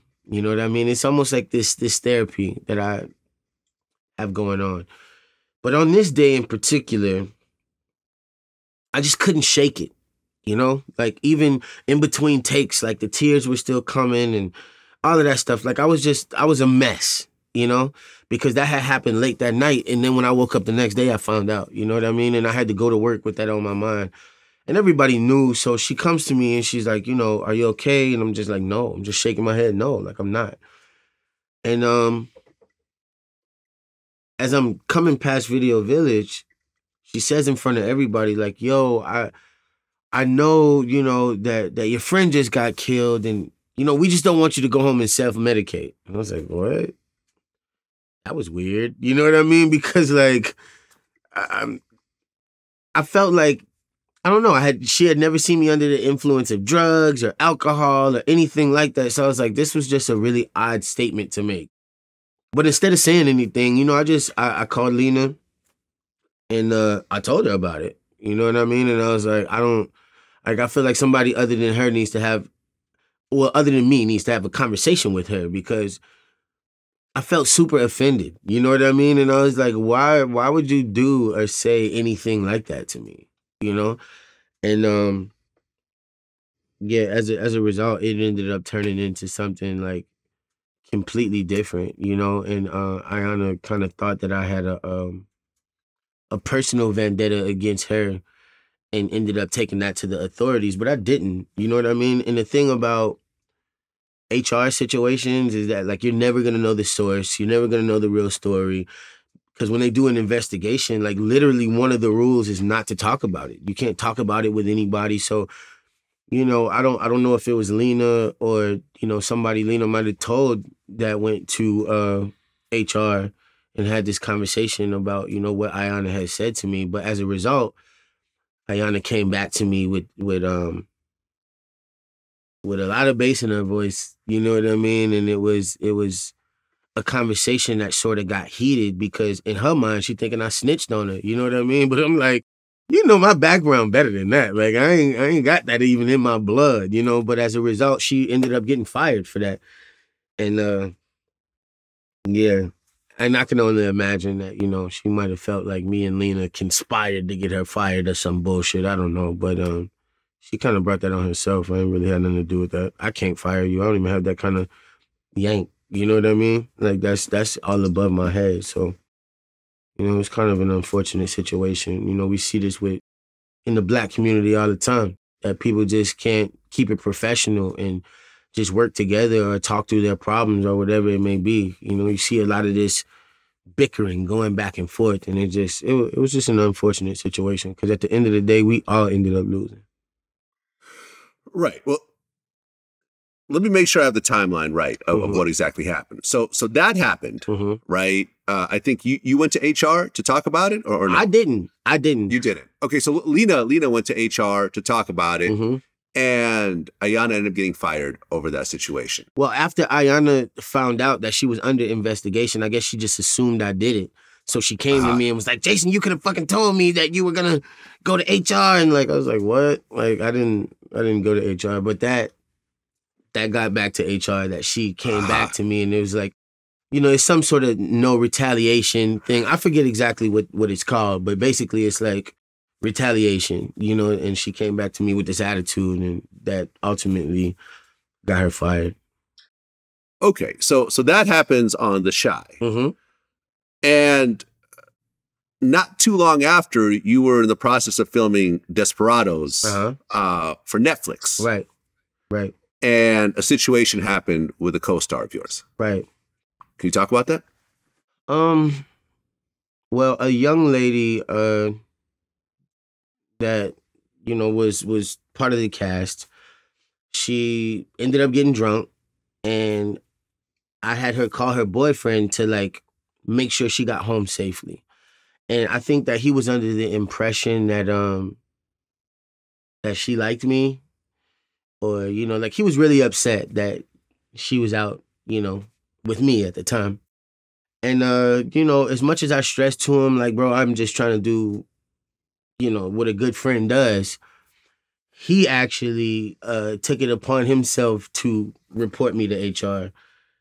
And at the time, I I I didn't understand the concept of somebody who didn't work with us being able to um report me to my job. I, I didn't even understand that concept, right? So um, you know, like I said, we had called him before, so I had his number. So I called him and I was like, you know, I was I was upset. You know what I mean? I, I was really upset that he felt like I don't know if he felt like I was lying to him or if we was lying to him or his girl was trying to cheat. I don't know what he was thinking, but I felt like he knew for a fact that I did the right thing as a friend on that day. Like why why would you try to create turmoil for this, right? And then like 15 minutes later, my agent calls me and he's like, Jason, you're just making it worse. And I was like, making what worse? This guy doesn't even work with us. How am I about to get fired from a job that, you know what I'm saying? Like to me, th- the concept just didn't make sense. I couldn't grasp it. And it just made me so fucking upset, man. I was like, what is happening to me right now? Like, you know what I mean? Just because it's it's it's this white guy telling you that I I was with his girlfriend while she was drunk. Now all of a sudden it's a problem. Like he doesn't even work with us. You know what I mean? Like what's happening right now? This is just her boyfriend, you know? And um, you know, uh, as a result, they were just like, yo, we're not gonna, you know, we're never gonna blame anything on you or say this or that. But at this point, you know, um, we think you should just go your separate way. You know, we'll still pay you, we'll do all of that. And um, you know, we'll we'll see you on the next project, you know, but no no press is gonna come out about this. Like they ensured me that everything would be cool. Right? So um Ayanna Floyd Davis gets wind of this situation and decides to take it upon herself to just make up a story. You know? Everything that she said was false and I stand on it in court. You know what I mean? Everybody around her and everybody who was on the Chi knows that what she said was completely false. But she wanted to make me and Lena look bad. But um unfortunately for me, you know, I'm the one who took the bullet. You know what I mean? So it, it is what it is, you know, but I really think that she wanted both me and Lena to lose where we were because I mean, let's be honest, like she probably hasn't worked since then. Like I don't know. I, I don't Google her and I don't I don't wish no bad on her, but I'm more than sure that she that people don't want her around because she caused problems. You know? Well, right. I, I guess around that time, Disney bought Showtime. Right, right, right. Right. So once, you know, the Desperados situation happened, and then, you know, Ayanna brought back these allegations, then suddenly you were had a whole new investigation about you. Right. And now it's happening in your other show, The Chi. Right. Right. And and now it's, you know, and I, I guess I guess the part I don't quite understand is that when you look it up, it's sexual misconduct allegations. Right. But from everything that I've seen you talk about, there was no sexual misconduct. It Right. was some arguments or whatever else, but Right. there was no sexual part to it. Right. You know what's crazy, right? Is because like I don't read the media, whether it be good or bad. I I just don't because I feel like I need to stay level headed. And you know, I've met some actors who, in my opinion, have become assholes because they're they're getting big headed because of what people have said about them. So whether it's good or bad, I don't read the media, right? But um, you know, I remember my publicist calling me saying, you know, they're saying it's just some allegations, but there's nothing sexual involved, right? And I was like, all right, well, I guess I can handle that because, I mean, it is what it is. Because at the end of the day, you know, if if you look, I mean, the only thing that you're gonna find to actually know the real Jason Mitchell may potentially be this this situation that happened with Delta, right? Which was you know, something like I said, I really, really wish I could take back, but I was so hurt in that moment that I got emotional. So, you know, they're gonna say, okay, Jason is is an aggressive guy, and and this is why because of this video that happened. You know, but at the end of the day, bro, at the beginning of the day, like I'm a daughter of two. I mean, I'm not a daughter of two. I have two daughters. I have a beautiful mother. I have a sister who played a lot in raising me. Like as you know, my dad killed himself when I was 15. So all I know is is women and how to respect women and what I want for my daughters and all of that. So to see the media go from just misconduct to sexual allegations without anybody knowing the story or anybody making a statement.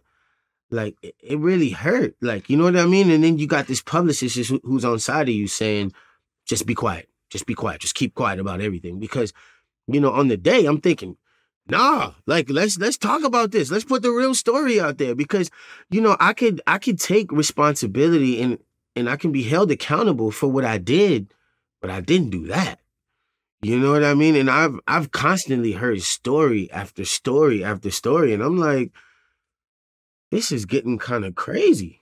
You know what i mean? And i i just I, I felt helpless for a minute like i didn't know what to do but all i could do was count on my moments with people and my actual, you know, personal Jason Mitchell experiences with people to outweigh that because anybody who has been in the room with me or anybody who has ever been around me know. You know what I mean? Maybe you know if if if I if I did something or made somebody feel some kind of way cuz at the end of the day I am from New Orleans. You know what I mean? So if I ever did something or said something to somebody to make them uncomfortable, like I definitely apologize for that, but as far as like sexually harassing somebody or whatever the story is out there that they're saying, I'm just not that person. And I just, it, it really bothers me that the media would try to paint me as a monster. You know what I mean? Because I'm definitely not that. Like that's that's not who I am. I mean, it's a rough position for a man to be in in the entertainment industry. You know, for example, I just interviewed Neil deGrasse Tyson, Okay. who had his own Me Too mo- you know moment Right. where a woman said that he spoke inappropriately to her 30 years ago. You know, and, and after going through the whole investigation, they found that there was nothing there and he got to go back to his life, but that doesn't always happen. Right. Um, you know, you said something interesting. You said, I'm I'm all for the Me Too movement, but I think in this situation, Ayanna Floyd Davis tried to use it as a really, really ugly weapon. Yeah, she definitely did weaponize the whole situation because at that point it was like a witch hunt. You know what I mean? Me Too is at the height of everything, you know, like cuz they let's be honest, like they do have some monsters out here. You know what I mean? They have people who um who use their their position as leverage. You know, Yeah. but I- Harvey Weinstein, for example, exactly, Harvey Weinstein who's who's a, who's convicted, who's in prison right now. because- Exactly. You know what I mean? For me, nobody even ever came out and had a story. The police were never involved. You know, and like a part of me thought, I guess the the public would have um would have would have used their their common sense and been like, hey, well, you know, if the police didn't get out or if if no female ever came out and made a statement against them or whatever, that it would kind of just go away. You know, but um it wasn't like that. Like it was tough. You know what I mean? I still um I still feel like I'm in the in, in this negative shade sometimes or with this dark cloud. But I'm like, you know what? I'm not gonna let that jade me or take me away from you know the space I feel like I should be in. Cause I feel like I definitely deserve to be here. Like God gave me a great gift and and I deserve to be in this space. You know what I mean? Like, did I make a mistake? Yes, but who's perfect? You know, if you haven't made a mistake, put your hands up. You ain't gonna see no hands. You know. Well, yeah, because because of this whole situation, you end up getting let go after the second season Right. of The Chi. They actually killed off your character. Yeah, yeah, which was crazy. Like, uh, When you were told they're going to kill off your character, and not only are you getting fired, but you actually have to participate in the event of the firing by acting out your demise. Like, well, actually, what's crazy about it is that they didn't even bring me back to act out my demise. They just put like a closed casket and a picture of me on top of it. No Oh, yeah, right. Oh, yeah, explanation. you're right. You're right. Yeah, I it was went. it was pretty crazy, you know. And they like, it, to me, it was just so strange. Like, it, I don't know, it was just it was just so strange, you know. But the part that I think hurt me the most about it is that when I first met Ayanna Floyd Davis, she was like trying to stress to me that like I love to see my young black brothers win. I would do anything for you, you know. And now that I look back on it, I'm just like, hmm, hmm, Hmm. you know. Yeah. Because not only did you get let go after the second season of The Chi, you got dropped by United Talent Agency and Authentic Talent and Literary Management. Uh, your MTV Movie and TV Awards got revoked, which is Yeah. kind of silly. But yeah, I, I mean, guess that's that's when the pylon starts to happen. Everyone wants to have the little, you know, the little kick in when you're down. Right, right, right. Exactly. And it's so crazy because I think that everybody thought something was going to happen. Like everybody thought some kind of charges were going to come up or everybody thought that um you know, something big was going to happen after it, you know? So I just got let go by everybody, but in turn it just made me look bad. You know what I mean? That that was really just it. There was nothing that came from it or nothing like that because I don't know. I don't know if they thought that I, I'd lied to them about something or that I wasn't being truthful about something, but I'm like, nah. I mean, I might have reacted in a way that I shouldn't have, but I, I didn't do anything to anybody. And they're like, Jason, we want to believe you. But I'm like, what? This is this is all very strange, you know? But that's when I found out that I was very much expendable to them. And I had to um regroup and not only work with who wanted to work with me, but like learn how to invest in myself, you know, which became a, a superpower. You know what I mean? I met a guy by the name of Jaquavis Coleman, who is a, a super good friend of mine, but um supported me emotionally when I felt like I didn't know what to do. You know, they had so many people who turned their back on me who who was there while everything was good, you know, but um he started telling me like, bro, you you're a hell of a talent. You know what I mean? And like if if you want to invest in yourself, like I'll invest with you. And this is how everything is both actually became a thing.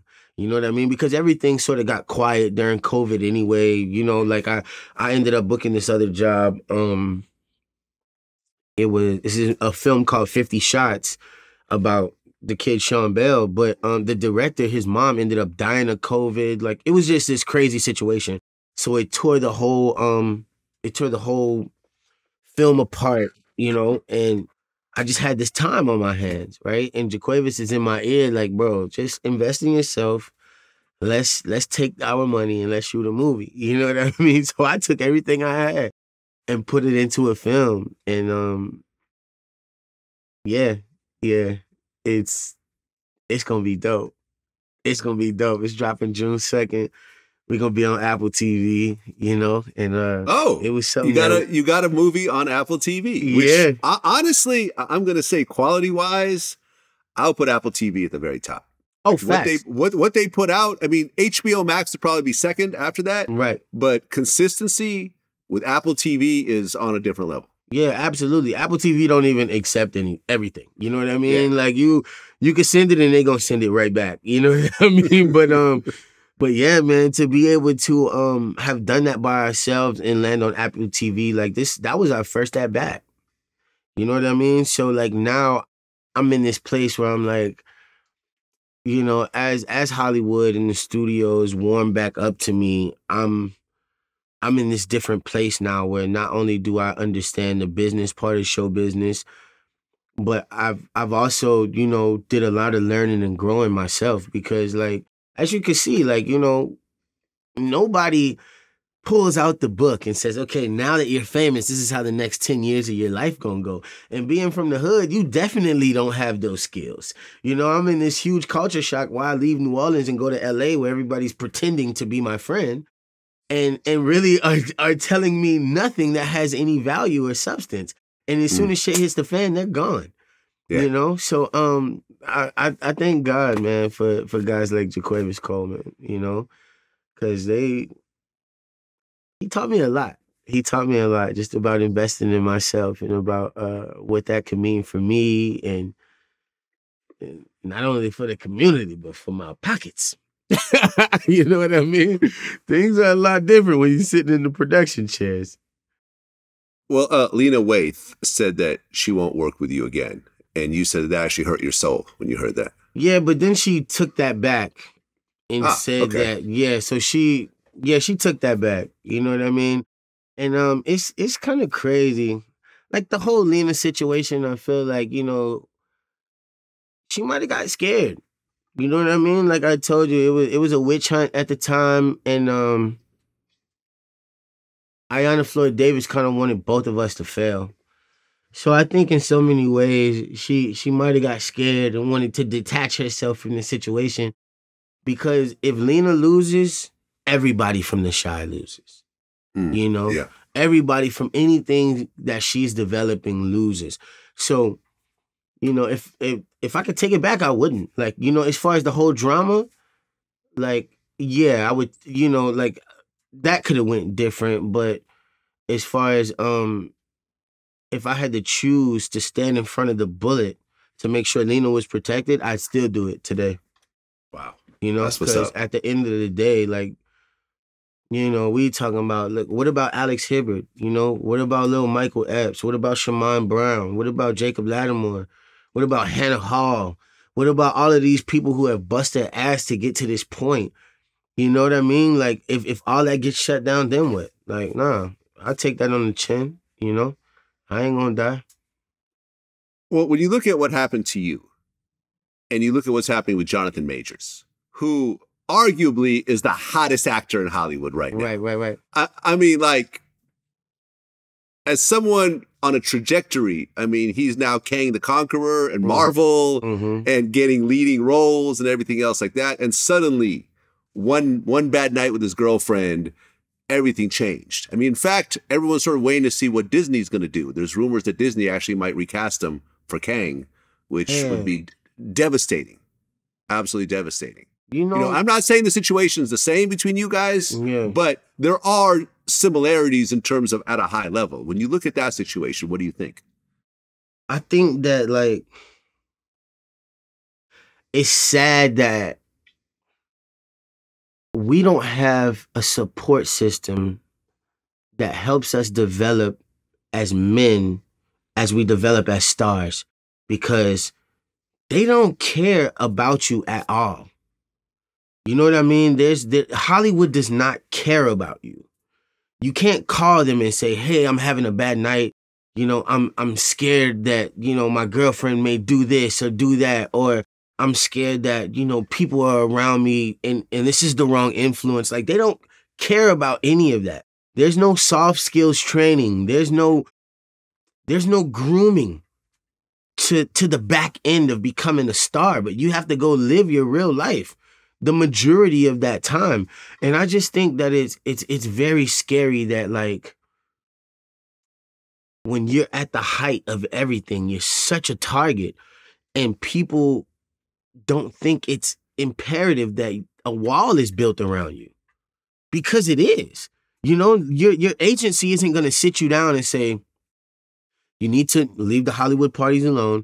Make sure you're not around any drug addicts. Make sure you're not in the car with any bullshit. Make sure you stay away from these females. They're not gonna have this talk with you. You know what I mean? And then the female who you've been knowing since you were 15 years old now can't handle where you are in life. And the first thing that they can think is, let me bring you down. Because it's the easiest thing for them to go to. It's the easiest adjustment for them to make. It's for them to bring you back down to their level. And I just feel like, you know, it's it's just such a a, a tragedy, you know what I mean? Because like when Jonathan Majors won, we all won. When Michael B. Jordan win, we all win. You know, and it's like we all lose when things like that happen. So I don't understand why after all these things that we've seen happen and go wrong, that we're not having these sidebar conversations that ultimately is building this wall around people.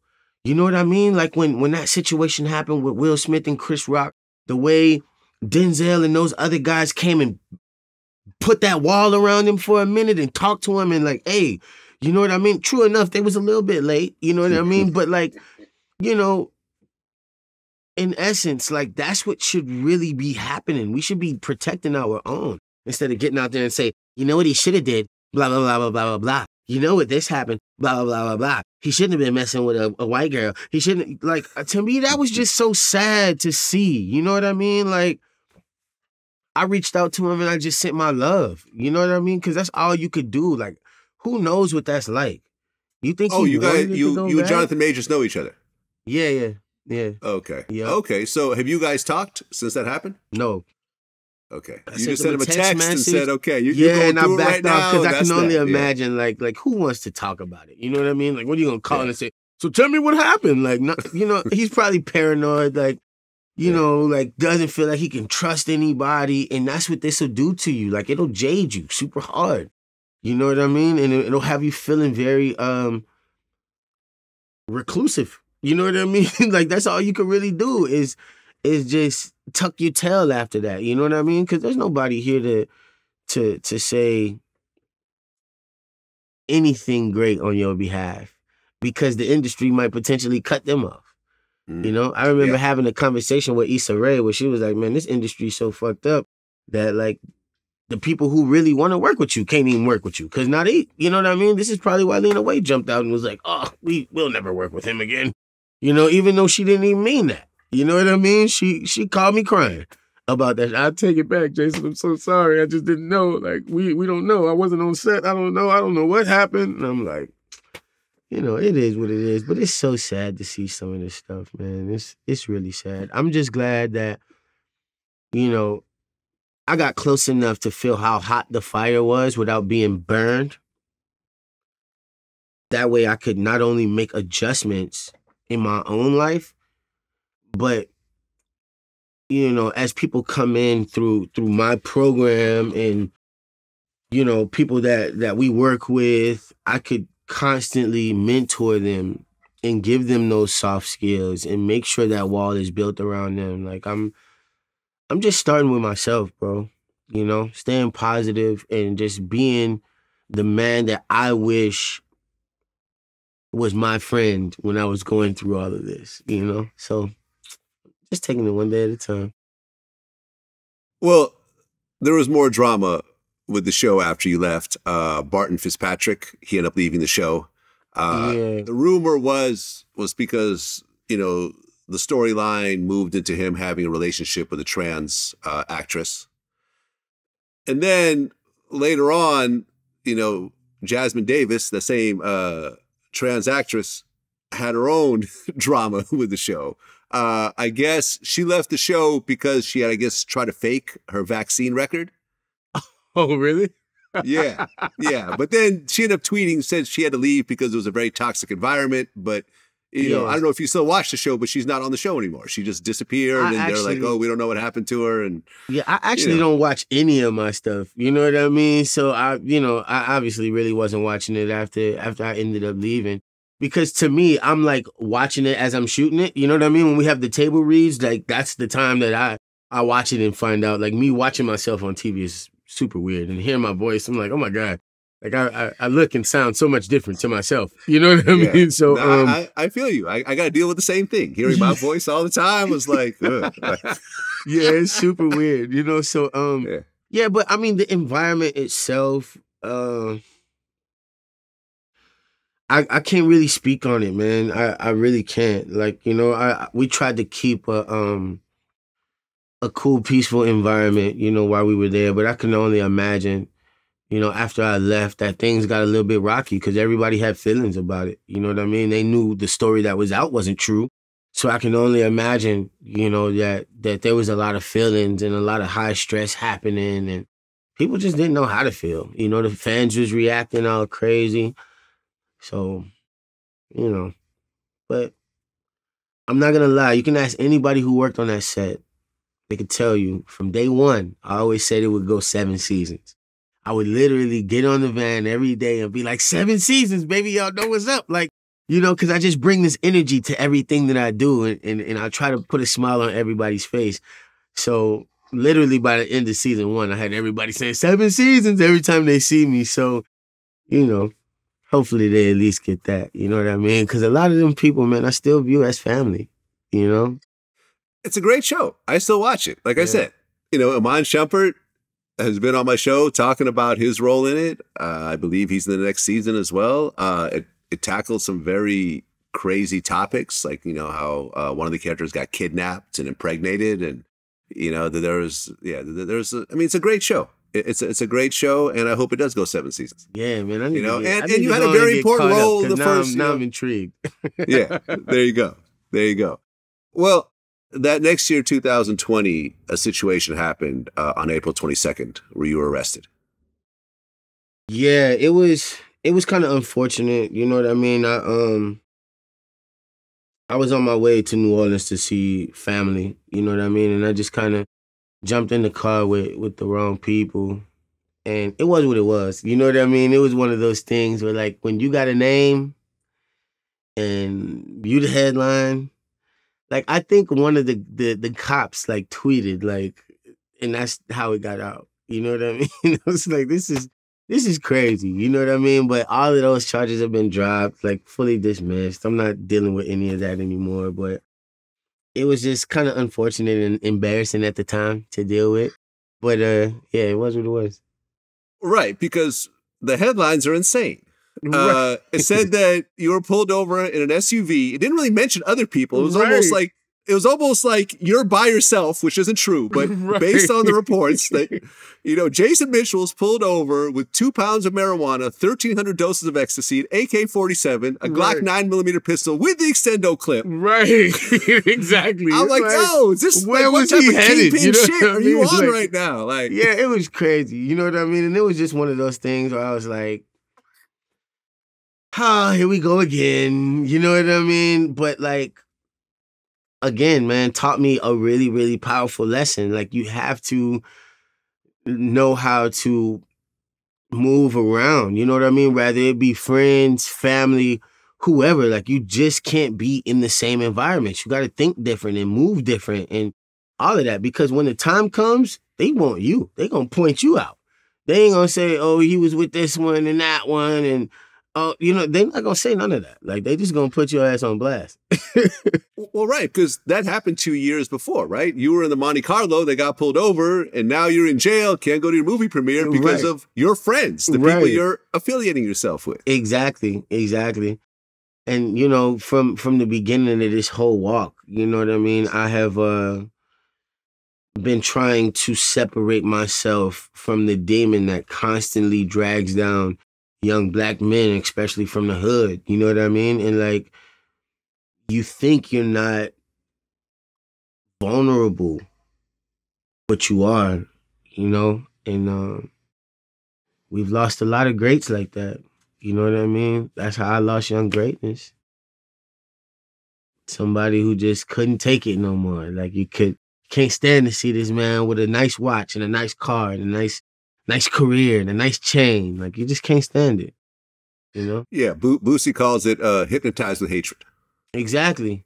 Exactly. A lot of people are definitely in in this in this place where like the envy is built so much because we all started on the same playground. So how did he end up there? What did he have that I didn't have? You know? and and when you in a lot of these um environments that are poverty stricken and ain't no money involved really, it turns into a thing like may the biggest gun win or may the toughest guy win. So it, it becomes less about, you know, you pushing forward, but more about the pieces that you can take off the board, you know? Like these killers are glorified these days. And it's it's it's a scary thing, you know, and it it, it hurts because you want like everybody's dream is for them to make it and get the family out the hood. But when the family can't handle it, when the friends can't handle it, when when everybody changes, they like, oh, money changed you. Like actually, all of y'all changed. You know what I mean? Like I always had this special thing in me, and it was cool when we was all broke. When we was all sitting in the studio together, it was cool. Let's we all when we all banging the mixtape in the neighborhood. But as soon as you you get signed to QC, or as soon as you do straight out of Compton, it's a whole different thing now. Like those people who were once your friends and who still are your family, but don't know how to accept you anymore. You know, and you start to get this gap in between you and them, and in their mind, you should be doing everything possible to close that gap. Mm, i.e., yeah. giving them money, giving them cars, giving them clothes, giving them opportunities when they're not they're not even getting off their ass enough to learn and grow with you. You know what I mean? And it's crazy because it's like, I mean, they probably got a handful of people who believed in me at, at the beginning of all of this. And then when everything blew up, all of these people ran back. And then as soon as shit hits the fan, all of those people leave again and you back to that handful. Yeah. You know, so it's it's it's it's, it's sad, man, but you it's the same, same, same day under the sun, man. You know, it just never changes. When you look at, for example, the Ja Morant situation, Right. right? Mm-hmm. He pulled out the gun in the strip club.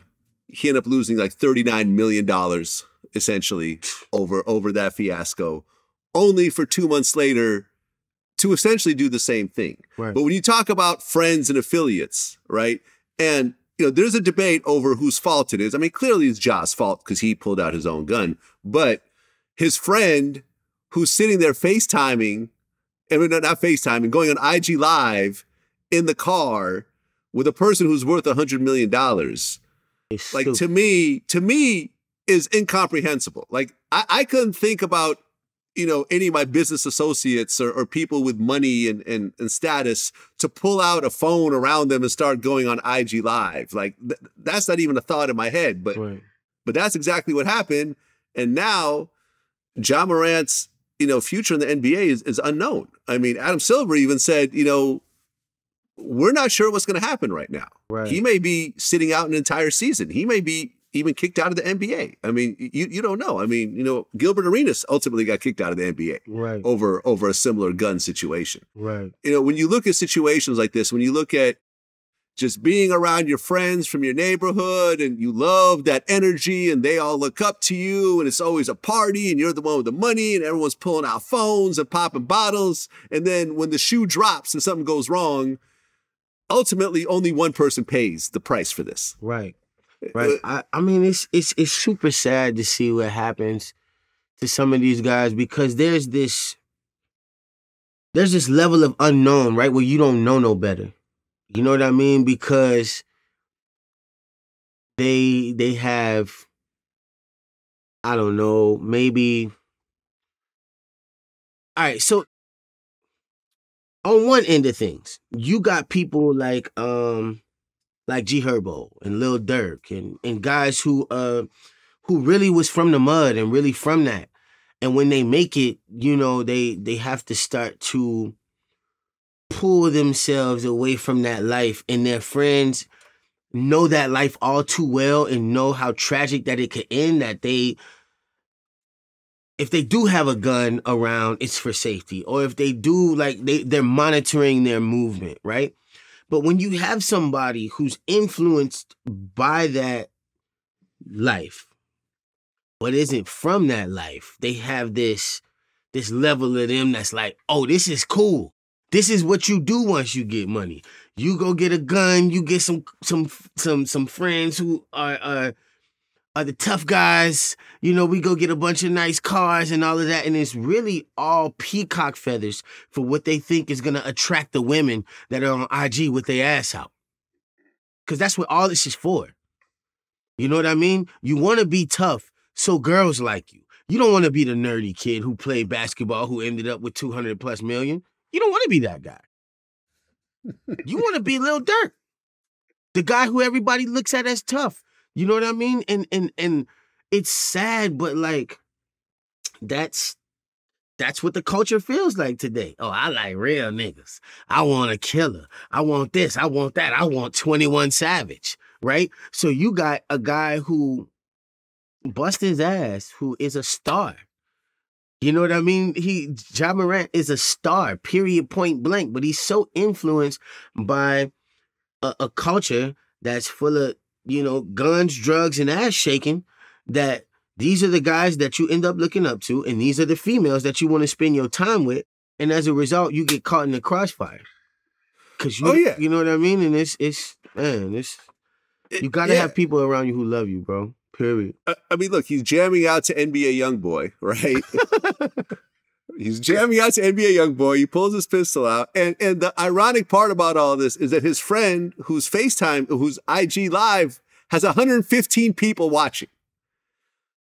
115 people probably cost your man 115 million dollars. Exactly. 115 people, like that's damn near like you're almost FaceTiming at that point. There's so few people that are watching. like ain't Like- nobody really on there. You know what I mean? Right. Like, It's not like you got millions of people watching. You, you got a hundred people watching, and one of them happened to record it, right. right? Which makes sense because oh shit, Ja Morant's on the live. Of course I'm going to press the record button. Right. Oh, that looks like a gun. All right, let me post this and get a whole bunch of likes, and then Right. next thing you know, it goes it goes up the ladder to to the head of the NBA. Right. And that's and that's the saddest part about this all, right? The fact that you know, whoever posted that video or the people who are behind these videos and stuff these days, like the the length they're willing to go to to maybe get pennies on the dollar or just simply likes or follows. no, no, it's not even got. pennies on the They're dollar. willing It's to- just they're it's simply likes. Yeah, Yeah, There's they're no money involved in reposting Yeah. IG live. Yeah, they're they're literally down to sever your career. They're down to sever your life. Like, you know what I mean? They down to completely cut your lifeline off. You know what I mean? So you have to protect yourself even more than you did from the beginning. You know what I mean? Because at the end of the day, we've all done some idiot shit at 23 years old. We all have. Facts.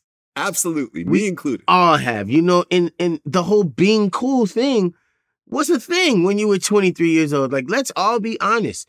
You know what I mean? So to see it happen to Ja the way it did, it's like, man, it's the worst. But at the same time, like, once it happened to you once, you can't keep making them same mistakes. Well, but You know? he did it twice. And that's- Exactly. And, that- and that's where the problem lies at In, this in the point. same It's amount like, of months. You know what I mean? Which is kind of like, Yeah. bro, why do you need the gun? Like, why where are y'all going? You know what I mean? Why you, you know, and I haven't even seen these videos. Like I said, I, I kind of try to stay out of the, the media situations and take things for face value. But literally, if I scroll through my Instagram right now, everybody's making fun of Ja Morant. Like it's you know, but this shit ain't funny, man. It's sad. You know, we need to be having some classes. You know, some people need to be putting this together. You know what I mean? Like if you ask me the the uh the P. Diddy's of the world and people who have been celebrities through all of these different phases, you would think that they would have support groups damn near by now. You know what I mean? Like really letting people know, hey, this is what it is. Like Jamie Foxx, that's why I love that guy. Such a stand-up guy. I remember um, you know, being at being at his crib with, you know, me, Chris Brown, um, just a few of us, you know what I mean? And he just really preaching to us like, bro, like I understand that y'all gotta separate from from what you knew at one point in time, you know. So this is a safe place for y'all to be. You know what I mean? If you ever need anything, like come to me first, you know? And I will forever be thankful for Jamie Foxx for that. You know what I mean? Like it's the Hollywood Hills ain't the easiest fucking place to run to. You know what I mean? It ain't like I got a helicopter in my back pocket, but he always, you know, had his door open for for young guys like myself. And I think if we had more of that, we would have less of what's going on with Ja Morant. Sure. Well, yeah, I remember you had mentioned. Uh, well, you made a video actually right after Takeoff got killed, Right. and you were really upset, especially at the people that are essentially filming him as he's lying on the ground bleeding. And you know, listen, I, I did Takeoff's first interview. I mean, him and and Quavo. Right, You know, like right. right when they were right before Versace came out. Right, So so so this was this was early early in their career. Uh, and he was always like a quiet, nice dude. He wasn't the one that had drama in the group and everything else like that. And to to see the way that played out, man, that, that broke my heart. And it Yeah, seemed like it had the same effect on you. Definitely. Like it's it's heartbreaking to watch that because as much as as black people at times want to complain about the police killing us or the white man holding us down, whatever it may be, like we not out here carrying our guns for them. You know, we not out here spinning on them. They not the ops for real. You know what I'm saying? Like that's not what's happening. It's black on black crime. It's pride. It's it's uh all of these little things. Like I said, because it's peacock feathers. At the end of the day, for all we know, Takeoff. You know, like somebody girl had a crush on him. For all we know, you know what I mean. We don't know why that man lost his life, but like at the end of the day, like he was never ever that guy who had drama. He didn't. I don't even know if I ever really heard him raise his voice. Like the loudest we've ever heard Takeoff is in the ad libs. Like let's be honest. You know what I mean? Like dude is uh, was such a chill person, and I'm like, man, this it got to come to an end, bro. Like it, it got to. Like I, I know violence. It has its thing, right? Because it's hard to tell somebody not to be mad after somebody loses their life. You know what I mean? Like after somebody like that gets killed, you can only imagine that there'll be retaliation involved. Like it really has to stop somewhere. You know, we are our own leading cause of death and demise. Like that's that's too stupid. You know what I mean? Like to just to see this constantly show up in our neighborhoods and you know on, on our TVs and all of that. And you know what's gonna happen? They're gonna put you on a t-shirt, they're gonna say rest in peace a couple of times. You know, they might do this and that on TikTok for you, but you're gonna be gone just like that, that fast. And ain't nobody gonna care. You know, don't nobody care for real. Yeah, it's a it's a sad situation, and uh, you know, uh, to have a group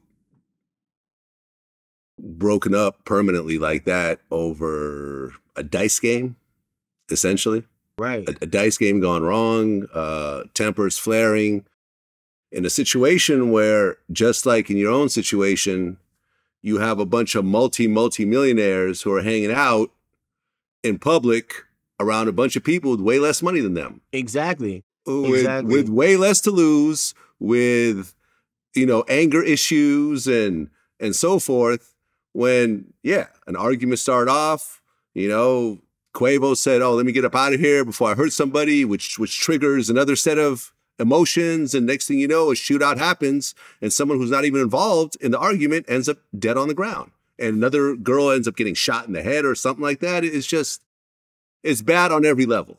Yeah, it is. And it's and it's it's crazy because I think um having money just brings in this whole different level of toxicity to every situation that you're in unless people around you have that same kind of bag. Cause they're gonna assume that you're trying to shit on them because you have the bag. Right. You know what I mean? Like, oh, let me get out of here I, you know, who's not gonna say that when when they might have just lost some money at a dice game or just won some money at a dice game and somebody going back and forth with them. Like tempers flare over this kind of shit. You know, but just because somebody comes out and says something and they got a different type of money than you, now you gotta prove it to them. You know what I mean? And and like I said, man, it's all peacock feathers. That's what it's for. For somebody to sit back and be like, oh, he was tough. You know? He was. He was the hardest where we was from. Like, why do you want that? Why do you want that on your back? You know what I mean? Cause everybody think they want to be killers until somebody else get killed in your neighborhood that you ain't had nothing to do with, and then people come raid your house. You know, or you be sitting your ass behind them walls for for life. You know, so many people who I know and came up with they sitting behind them walls because they got in their feelings, you know, and wanted to be tough in front of the girl they like, and not a girl they like don't even remember their ass. You know what I mean? And that happens all the time, you know? And unfortunately, we we we lose some golden members in these moments. Golden members. And it's it's sad, man. It's sad. But hopefully, um, you know, that's why I started this program, Dream Seeker. You know, I just went and spoke to this spoke at a high school in Dallas called Bowie High School. And um you know, I was talking to some of these troubled youth, you know what I mean? And a lot of them have already been in in shootouts and already selling drugs and are you know all of these things that we experienced as young people because like nobody really wants to be the bad guy. People want some money. You know what I mean? At the end of the day, it's like we hear what you're talking about, right? They bring you to the church and tell you save your life and go to Christ and all of these different things. But you're like, you know, all this is fine and dandy, but show me how to make some money. You know? So I said, instead of just doing this over the counter acting class that's only going to help 1% at best, let me go teach my people how to fish and let me teach them how to actually make movies.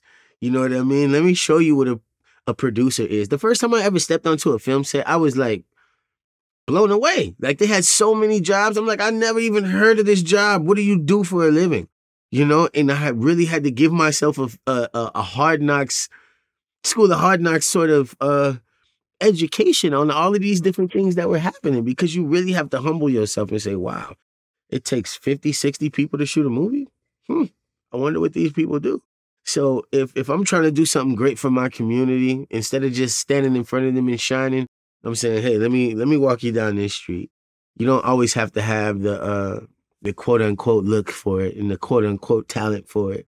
But you could really, you know, buckle down and, and learn this craft and be somewhere else. You know, make your hundred fifty thousand dollars a year doing something that don't nobody even know exists.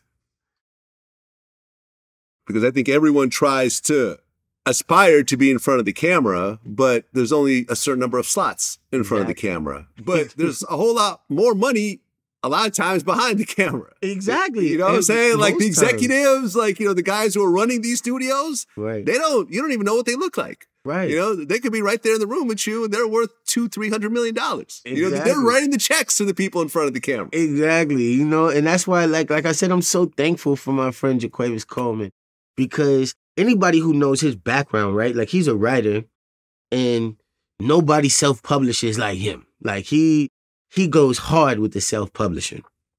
But when he introduced me to this world of being able to invest in myself and what that comeback was like, I was like, oh man. What like don't get me wrong. I would I would be in a studio movie any day. Like, you know, I have no nothing against them. But am I gonna wait on that? No, because it's not what's gonna make me rich. For real. That's not what's gonna make me wealthy. I could maybe get rich doing films for other people, but owning my own films is what's gonna make me wealthy. That's gonna have money in my my grandchildren's pockets. You know, leave yep. something for my great grandchildren. Like, and it's gonna come from this. You know, so yeah, man. Hopefully, you know the the things that I went through and the struggles that I've overcome, people can actually look at and say, I learned something from that. Not only did I learn something from that, I actually got an opportunity from that same guy. You know, because that that's what's gonna change everything. The opportunities that we give ourselves. Because we keep watching everybody running around in a circle and it's so scary that you're like, as much as I wanna help, I gotta get out of there. You know, I just I can't be in that environment. You know, so hopefully this this starts to break the chain of of the foolishness that we constantly experiencing. Well, yeah. I mean, I remember my first film project. It was called Ghost Ride the Whip. It was a documentary about the Bay Area and the okay. hyphy movement. This was in 2008. Uh, I directed it and, and produced it. You know, it came out through Image Entertainment. It, you know, it was on MTV and I think it was on Netflix for a while and everything else like that. I remember getting a $30,000 check up front and I never saw another penny for the rest of my life. this came out like 15 years ago. Yeah.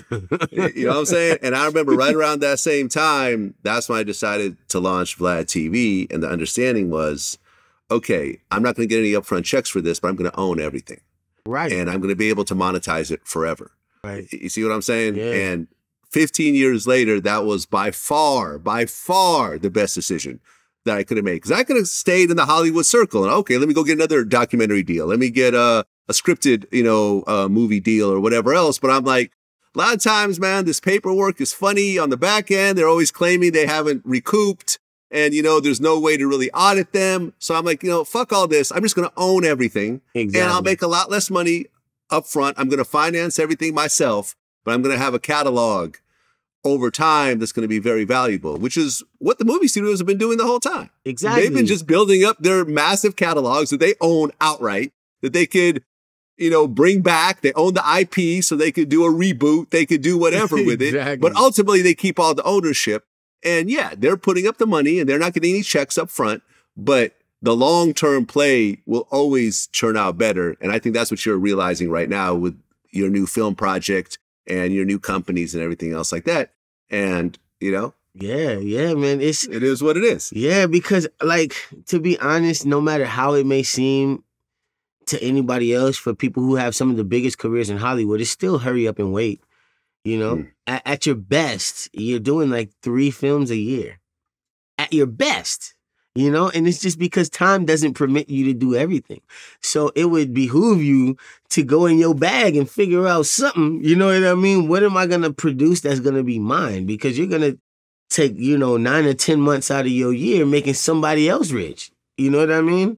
And you Mhm. might get a six, seven figure check, but I mean, it ain't gonna last you for the rest of your life unless you invest that properly. And, you know, it ain't no better place to invest than yourself. Right. And, you know, for example, right now, the whole strike is happening in Hollywood with, with the Mhm. writers and so Mhm. forth. And, and I understand their point of view, but the reality is, is that the, you know, the financials of the movie industry is not what it was 10, 20 years ago. You know, Exactly. streaming, streaming has changed that. And a lot of the film companies are losing money. So you could sit there and complain and demand for higher wages and you could strike and you could band together and you could try to put pressure, but ultimately you're not going to get water from a rock. So at some point, like, yo, like we don't have the money right. and we have to figure out ways to cut costs to create these projects where they're going to be profitable. Cause then what's the point of even doing this? exactly. So, so instead of, you know, picketing and getting angry and, and trying to put pressure on these studios, go and make your own stuff. yeah. And- YouTube is free. You know what I Exactly, mean? that's- YouTube that's is, is, is a hell of a platform. You know, they got so many stories. Like, I'm not gonna lie, man. If I see one more reboot, I'm gonna fucking shoot myself. I swear, I'm so tired of seeing them. You know what I mean? Either that or we're watching like Fast and Furious 25. You know what I mean? And it's like, yeah, exactly. yo, you know, like they act like they can't think of no more great ideas. You know, Right. and and we no longer have to deal with this whole beast of nobody's gonna know I'm promoting my movie. You know what I mean? Like when we did Straight Outta Compton, even bro, like I think Mission Impossible had like 3,800 more screens than us or something, just something crazy. But with with with streaming, you don't have to think about all of that stuff no more. Like all you got to think about is hitting the mark. Like let's make it good. Let's make it the best quality that it could be. You know, you might try to see a couple corners that you can cut. You know, let's use my house to shoot. Let's use my car. Let's save some money here and there. And you know, but that's that's what makes it fun and that's what makes it yours. But at the end of the day, when that check come back and it got your name on it and it belong to you, oh man, it's a whole different vibe.